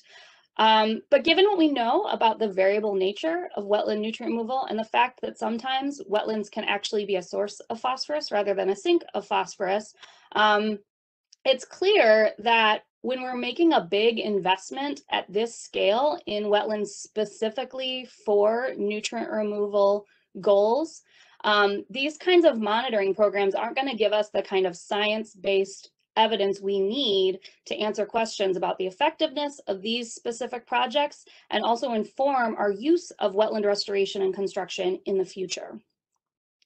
So that brings us to the main goal of the H2 Ohio Wetland Monitoring Program is to make these invisible biogeochemical processes visible. We aim to directly assess the nutrient removal function of the wetland projects that are being implemented by the ODNR for both nitrogen and phosphorus, because as others have mentioned, both of these nutrients are very important in understanding um, eutrophication. So the ways that we do that, first of all, we just want to know, do the wetlands remove nutrients or not? And the most uh, useful way of doing that is to think about the wetland like a box or even like a bank account, right? We think about doing our best to measure all of the nutrients that go into the wetland and all of the nutrients that go out and look at the balance. Do less nutrients leave the wetland than enter the wetland? If so, then that wetland is meeting its goal. How much less? How does that compare to other kinds of of approaches in terms of nutrient reduction. In ecosystem ecology and biogeochemistry, we often call this a mass balance approach because we're balancing the mass of the nutrients going in and out. It's just like accounting. Um, this is great because this is really the policy implementation, right? We're thinking about each wetland. Should we put it in? Is it effective? Is it remo removing nutrients? And how much is it removing? But it's a little limiting because there's some wetlands where it's really difficult, if not impossible, to measure all the nutrients going in and all the nutrients going out. And it also doesn't really tell us very much, if anything, about how the wetland is removing nutrients, which then doesn't give us much to go on if we want to improve a wetland's ability to remove nutrients or find wetlands that do a really good job at this. So the monitoring program is also implementing a lot of measurements and a lot of techniques to sort of open up this black box that sometimes wetlands can be treated as. We're going to look at how much nutrients are in the plants, um, how much do they take up, um, nutrient concentrations in water. Um, super important is measuring the hydrology of each of these systems, um, and that gets complicated. And then we're going to pay really special attention to the soils because that's where a lot of the nitrogen and phosphorus removal action happens. Um, so hopefully when we gather all these data, we'll be able to say something really informative about the program. Um, we've developed a general framework for the program, which we call our monitoring plan. We submitted it for critical review from a lot of technical and management reviewers, um, improved the plan substantially based on their uh, suggestions. We finalized that plan and the ODNR is currently reading through it to approve it. While we wait for that, we've already begun characterizing some of the wetland projects where construction has completed and we're starting to collect some baseline data. In September, we intend to give a public webinar about this program that will be longer and I'll be able to go in a lot more detail about this really large and exciting program. And then every year, um, uh, we intend to adaptively update the program based on changing needs and based on lessons learned. So this winter, we'll bring together all the researchers, all the ODNR personnel um, who are involved in the program, and representatives from all of the many partners that are involved in each of these wetland projects, nonprofits, municipalities, um, and other organizations. So we're just at the very beginning of getting this program off the ground. Um, Chris Winslow likes to say that we're building the plane as it's leaving the runway, and I'd say that the plane has probably already left the runway, and we're still building it because we want to make it as effective as we can. Um, I'm really looking forward to any questions that you all have. Thanks. Thank you, Lauren. That was great. Um, we're going to move into our uh, fourth presentation here. Um, so Scott Hale from the Ohio Department of Natural Resources Division of Wildlife. More specifically, he's the Executive Administrator for Fish Management and Research. He's online and he's going to be available to field any questions you might have. Um, but we were concerned with some possible bandwidth or internet issues, so we've got um, Scott's presentation recorded here. So Christina, I'm going to come to you and, and hopefully the video and audio work here. Yes, give us just one minute to kind of let the presentation load a little bit. So hopefully that'll um, reduce some of the video issues, but I'll get it to play in just a second.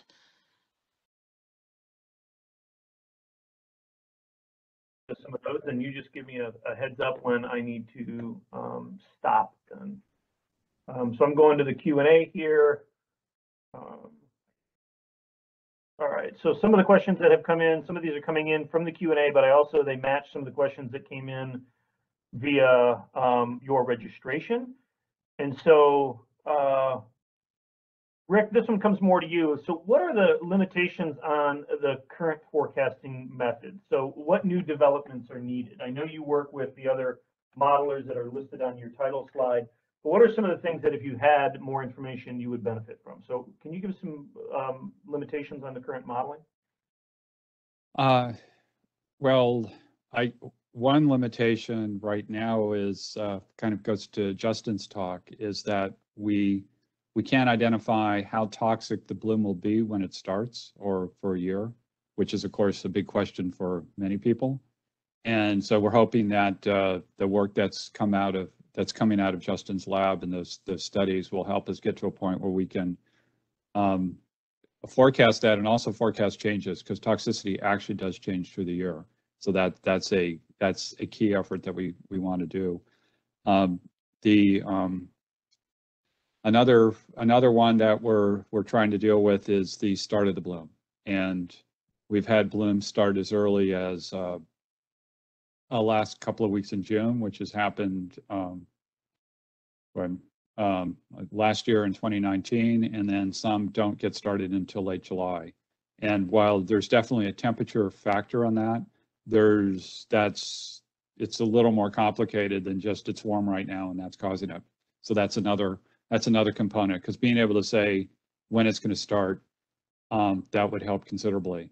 Um, and those those are probably some of the key points. Um, some of the variability between years, there's a, a number of components um, that we're still trying to understand um, that um, ecological uh, system, environmental systems are complicated and um, lots of things going on. And so just looking at the ones where they deviate some in the models. Um, we're still trying to work out if we can capture that information as well. So each year we get more data. Um, it turns nature throws experiments at us, changes things in ways that allows us to collect the necessary information we have. So every year we do get better at this. Great, great. Thanks for that. One of the questions that I'm seeing today that we don't have a speaker necessarily talking on, but I can highlight real quickly is uh, what progress have been um, made with respect to securing a means to ensure safe drinking water during these toxic algal blooms. Um, and I can mention that, um, and I'll highlight a little later if time allows, that under the Ohio Department of Higher Education's Harmful Algal Bloom Research Initiative, um, we have funded a tremendous amount of projects um, to address priorities put forward by Ohio EPA and Ohio Department of Health on, on how to um, adequately treat water. Um, so if the source water has toxins in it, how are we pulling them into our municipal drinking water plants and removing those toxins so that the water is safe to drink? And we've just learned so much about different filter types, the use of ozone um, bubbled into the treatment plant, the, the use of UV radiation, um, how to properly use powder activated or granular carbon, um, even uh, reservoirs that are used as the source for drinking water uh, facilities, how to better dose algicides to control the onset of those blooms, but also to um, decrease toxicity. So um, I'm really, really confident in, in, in our um, municipal water treatment plants to have that they have the tools and technologies that they need to be able to um, remove those toxins when they are quantified. Um, so that's a that's a good thing to mention. I will also come back to although um, Rick mentioned in the forecast, and it's that toxicity that's the the tricky question, right? We can give a good estimate, and, and Rick and, and his team have been able to give us a good estimation of what we might see in our bloom year, but it's that toxicity piece. I do want to point out that uh, the Department of Health does run what's called Beach Guard, um, so you can just type it in any one of your browsers, just type in beach guard, and basically all the beaches that are monitored in, in that space, um, the uh, co concentrations of the microcystins at that specific beach are available on that website. So I strongly encourage um, folks on the on the webinar today uh, to attend to attend that. Christine, I'm going to come to you and see if you were at a place where we can play um, uh, Scott's video. Let's give it a shot. Um, let me know if you're um, having trouble with any part of it. Thank you to Ohio Sea Grant for this opportunity to close out the annual HAB announcement talks with a bit about Lake Erie fisheries. So, with apologies to our friends in agriculture, I'm going to borrow the four R's for a moment to remind everyone that no matter where you live, for great walleye fishing, Lake Erie is the right source. We're catching fish at the right rate, now is the right time, and just about anywhere in the lake is the right place. In addition, I'll take a moment to provide a brief reminder of the benefits of Ohio's Lake Erie fisheries overall. About two weeks from now, the ODNR and its partners will be hosting Governor's Fish Ohio Day, which provides an opportunity for charter boat captains to share perspectives on Lake Erie issues with legislators, the media, agency partners, and our staff. Experienced charter boat captains participating in this annual event appreciate how good our walleye fishery is now because they understand the history of the journey to get here, which included key regulations, legislative actions, and science-based interagency management that promoted, then capitalized on strong walleye year classes in 1975 and 1977 and the early 80s. Following the historic recovery of the fishery, it became the right source of great walleye fishing in Ohio and renowned throughout the U.S. Resurgence of the fishery in the 1980s was marked by record Ohio fishing license sales and a steady increase in the number of charter boat captains, making the 1980s a benchmark for fisheries performance. With this benchmark in mind, it's interesting to see where we are today.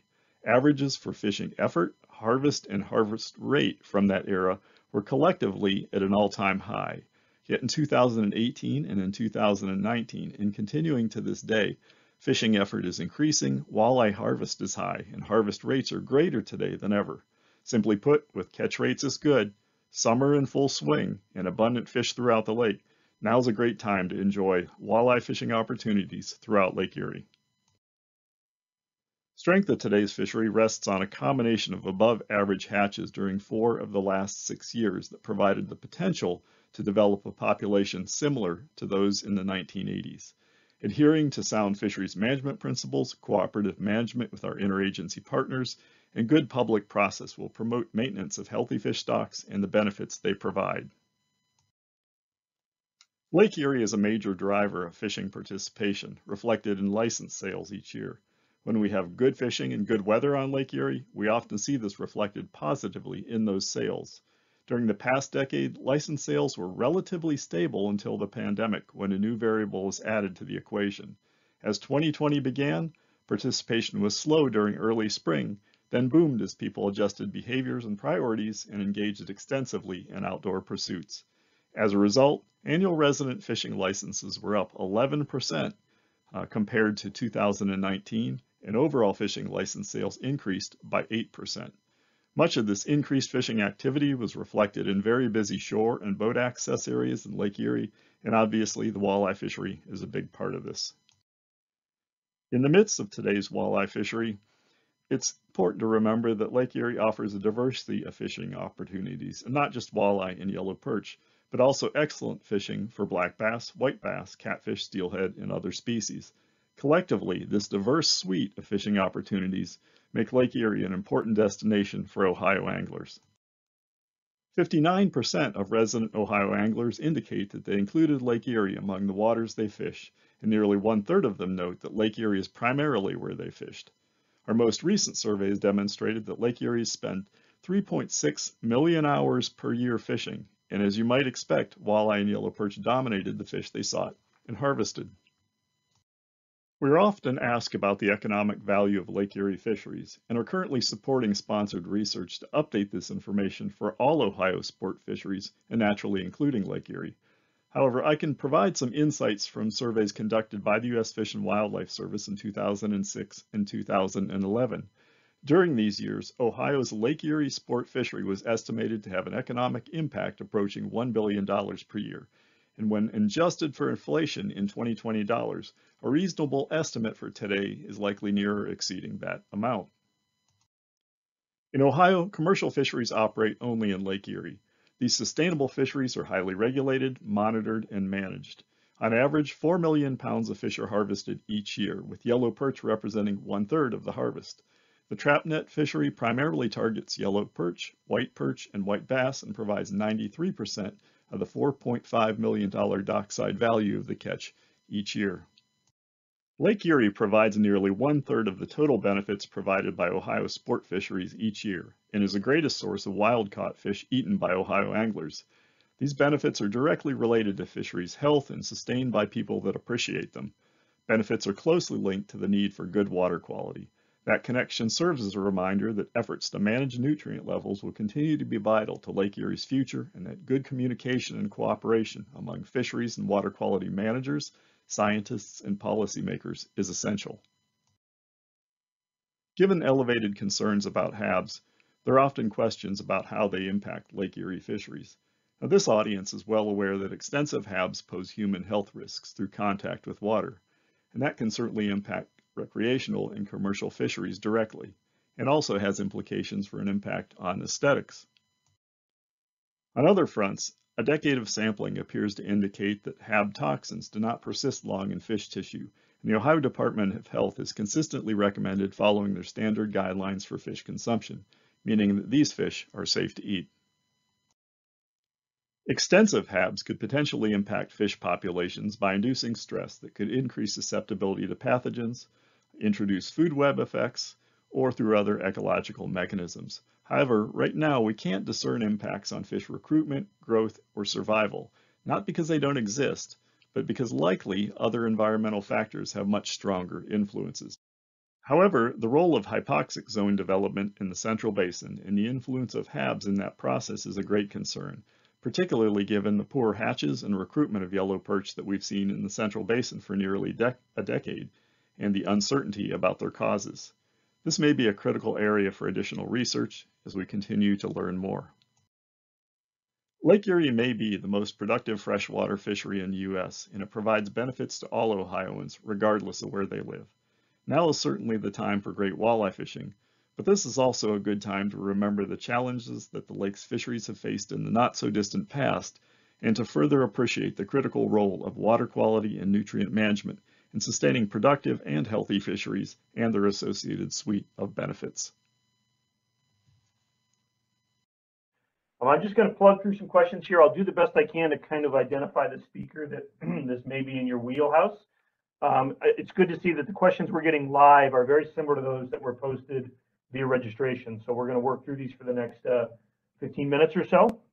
Um, Rick, the first one is coming towards you, so if you want to try and unmute uh, your mic there.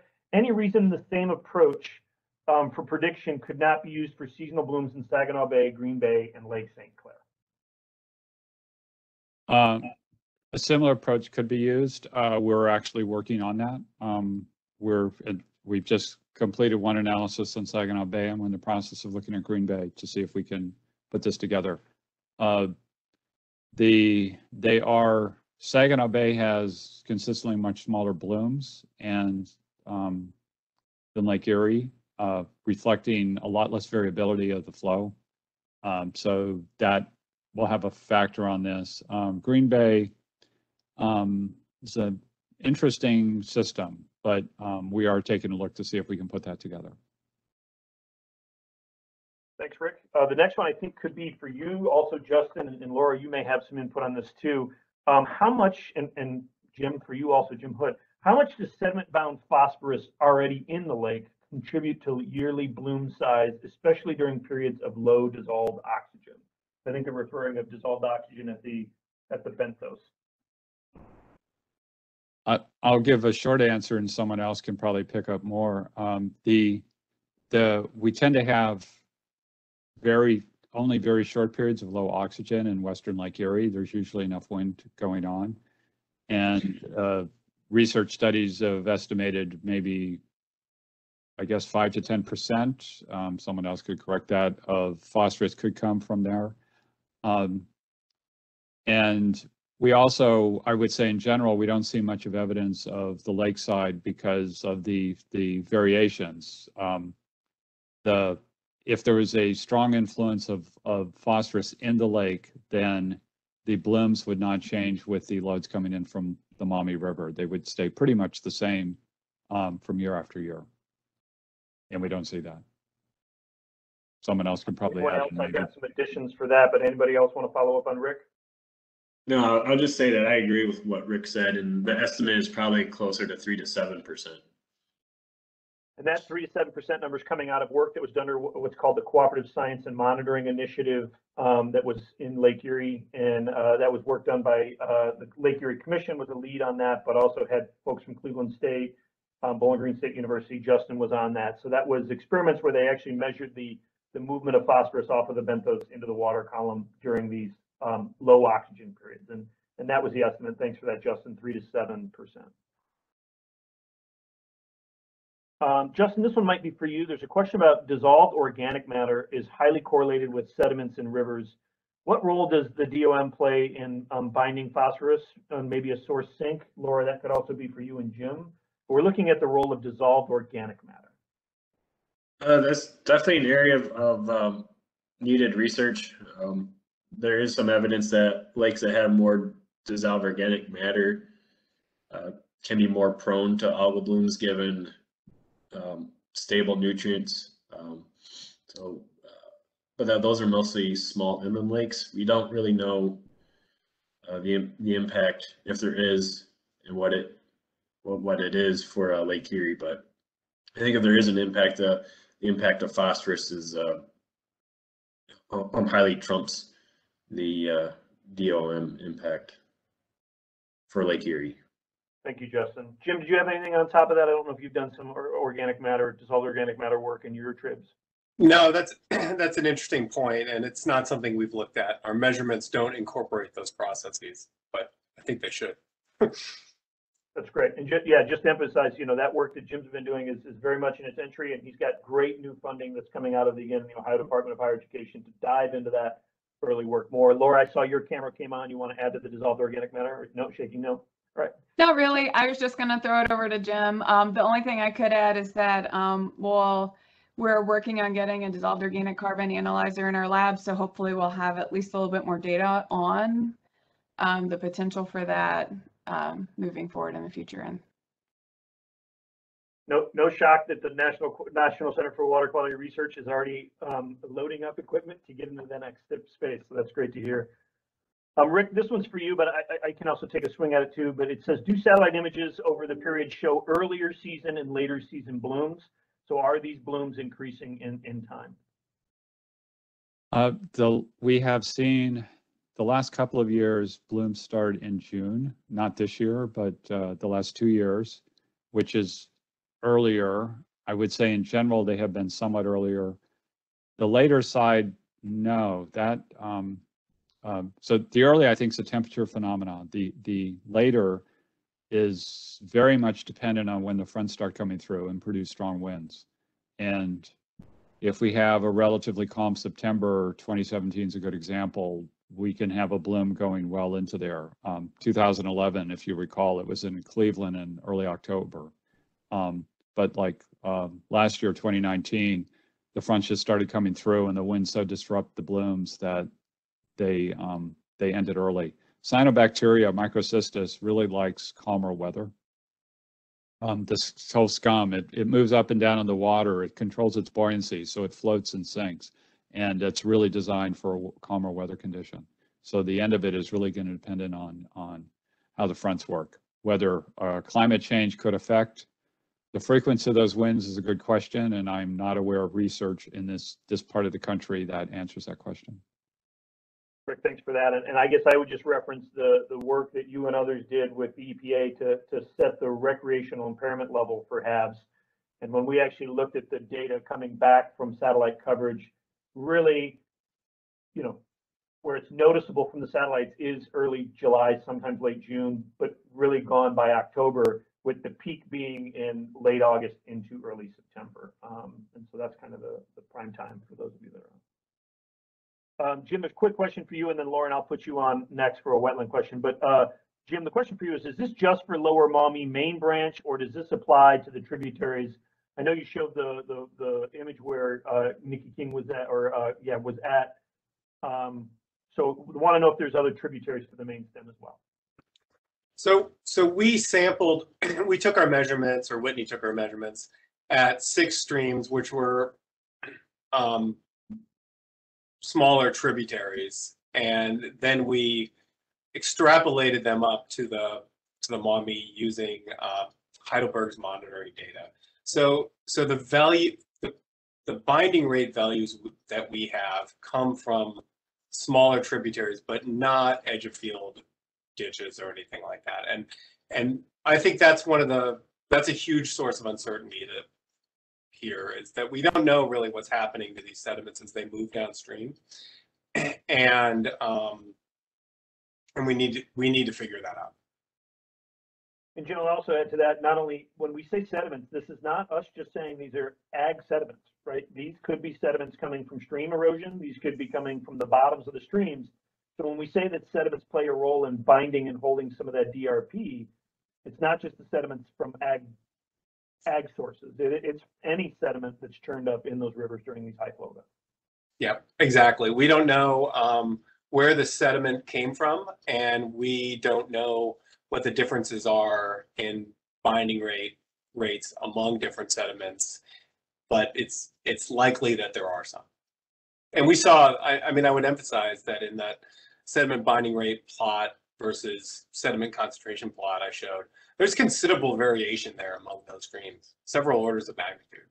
Um, and the, the causes of that are, are not well understood.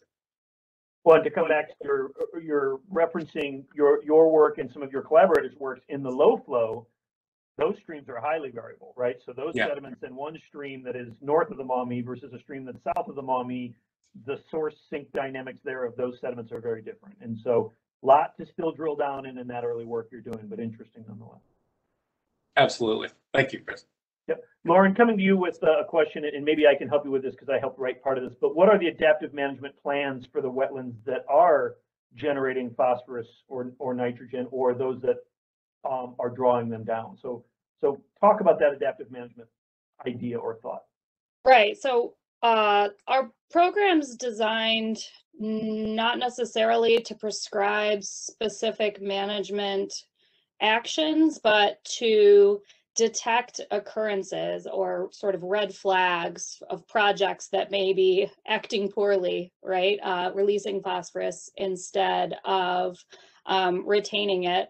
There are some tools in the toolbox that managers may have with variable um, potential trade-offs, um, but that would be uh, something that would be more in the realm of the ODNR managers or the the firms that and the landowners that are managing the sites themselves.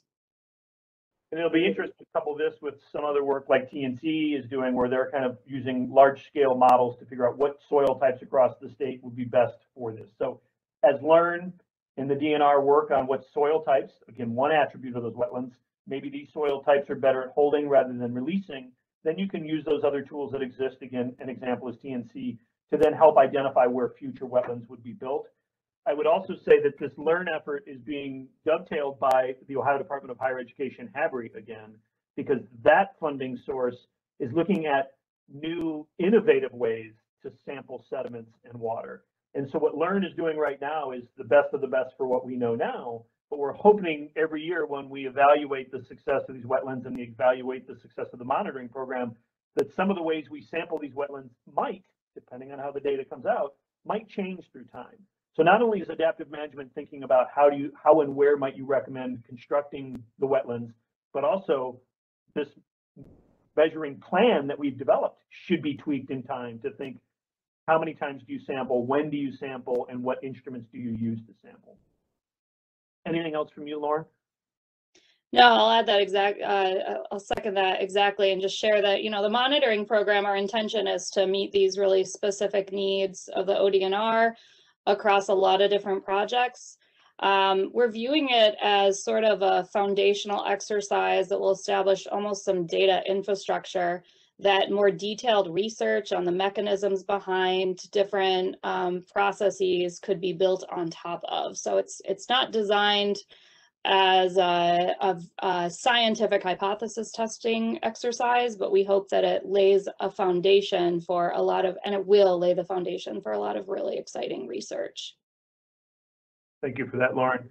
Um, I'm going to come to you, Laura, real quick. You, I think you answered this already in the chat, but it might have been one-on-one -on -one with the person that answered the question, but I think it's a valid one. So how does the flow weighted mean concentration from DRP that is done over the course of a year correspond or, or relate to a sample event concentration. So you going out at one point in time and measuring it in a storm event. So could you address that for the rest of the audience if they didn't see it in the chat? Yeah, I'm happy to. Yeah, so the, the this question is really kind of asking how you know these mean concentrations compare to you know at one point in time sort of concentrations, and they're uh, similar but different, right? So what we're trying to do with a flow weighted mean is get an average over some period of time. The problem is that we know that concentrations in the water change with flow. And so what we do is we weight that average based off of the flow volume for a specific point. Um, I have some really great links, I can share them in the chat that go over how you calculate these and how they're different between flow versus time. So when you actually go out and collect storm samples at the very peak flow, they end up usually being far higher concentrations than what we would measure averaged over a period of time because that average ends up including also the periods of time in which concentrations are low when it's not storming.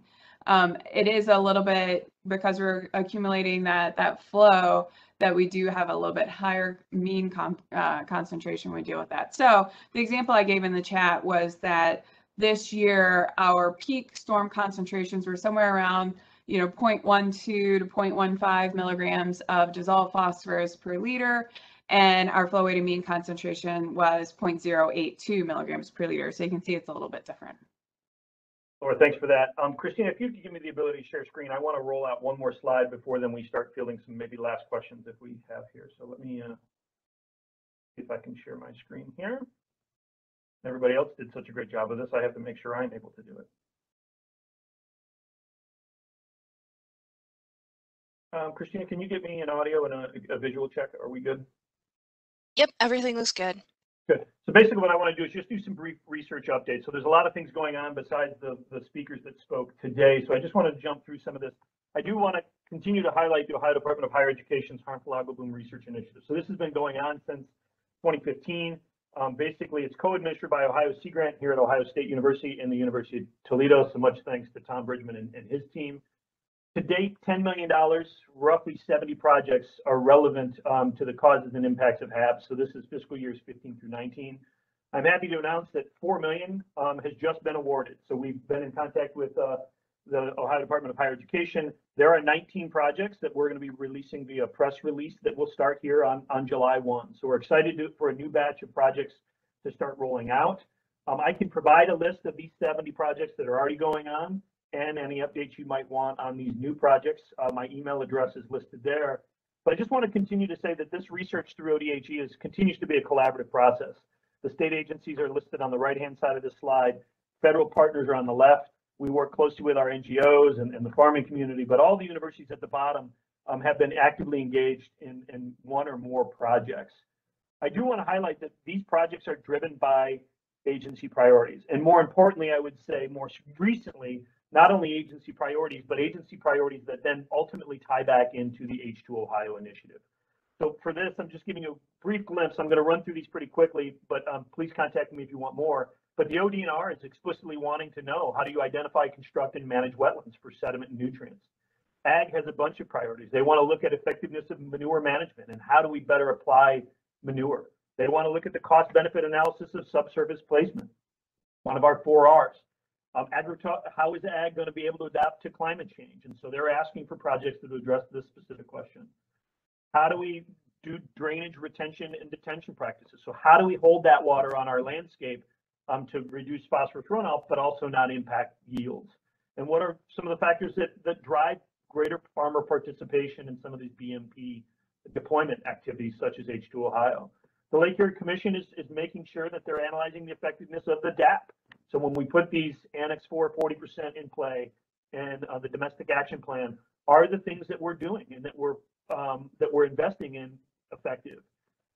Lake Erie Commission loves the idea of these paired and pilot watersheds, where we look at a watershed where we outfit with a lot of BMPs and stack different BMPs relative to those that are fairly untouched in this space, and comparing the effectiveness and um, not only from a nutrient drawdown, but an investment perspective. Um, and then cost curves. We need to keep looking at these H2I Ohio BMPs, these top 10 practices. Um, and so we're, we're addressing these all the time. And last but not least, the EPA and health have always been looking at source water protection, treatment, and health risks. So how do we make sure that if microcystins are, are in the water, how do we make sure that there's not exposure to um, humans and, and, even our pets? Um, I did want to mention LEARN again, but Laura knocked this out of the park. Uh, so basically the, the wetland monitoring that's going on by LEARN um, and ODNR. But I wanted to also talk about some of our researchers that are working on the Clean Water Act. Um, so there are efforts here. So Ohio Sea Grant has been facilitating an effort by the Ohio EPA. Basically, multiple universities, sister agencies are developing and evaluating Lake Erie aquatic life uses. And so what that means is basically um, the Clean Water Act requires EPA, Ohio EPA, to assess and report on the quality of Ohio's waters and publish a list of those impaired um, waters every two years. And so agencies and, a bunch of your universities are, are meeting regularly right now to make sure that what we're assessing and what we're measuring in the lake is what we should be assessing and measuring. I did want to put in a, a, a comment here for Erie Hack. Many of you may be familiar with this, but the Clean Water Alliance has started up its new Erie Hack to basically address challenges like community water resources, water infrastructure, surface water quality. All of these challenges were identified through um, basically scoping sessions. Um, there's some examples in here of previous Erie hacks from 17 to 19 of products that were produced. But if you please draw your attention to the timeline, basically, you know, starting in August and September, there will be information sessions about these Erie hack events running all the way through official kickoffs and then um, the finals of these um, hack or technology solutions that are being competed right now. And then the last thing I wanted to mention for sure is didn't want this to be lost in Laura's presentation, but please visit the URL at the top. So uh, National Quality Water Research um, Center data.org. So that tool that she showed you is accessible and I encourage all of you um, to go to that website and play around with the data that Heidelberg collects um, and maintains. I see we're right at 12 o'clock, um, so I, am happy to shut down the webinar. I apologize that we do not get to all of the questions that were posed. I'm pretty confident that those that were submit, submitted via RSVP um, or online were addressed. So I hope we met the needs that you needed to have here. Um, but being at 12:01, um, I will pause here and see if there's any final comments from our from our panelists. Um, and then before I turn that over for final thoughts from the panelists, again, I can't thank enough all the uh, elected state and federal officials that attended this event, um, the state agencies, um, not only the leadership, but the state scientists that are on here. Um, and again, um, the governor's office and, and all of these initiatives, uh, H2Ohio, um, and the Ohio Department of Higher Education.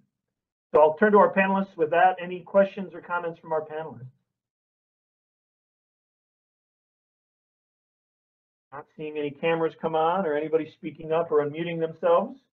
Um, so with that, uh, all attendees, we were sending out this recording, and again, it'll be embedded with all the videos that uh, had a little bit of glitches here and there, but you will have um, all of that. With that, everybody, enjoy your Wednesday and the last day of, of June.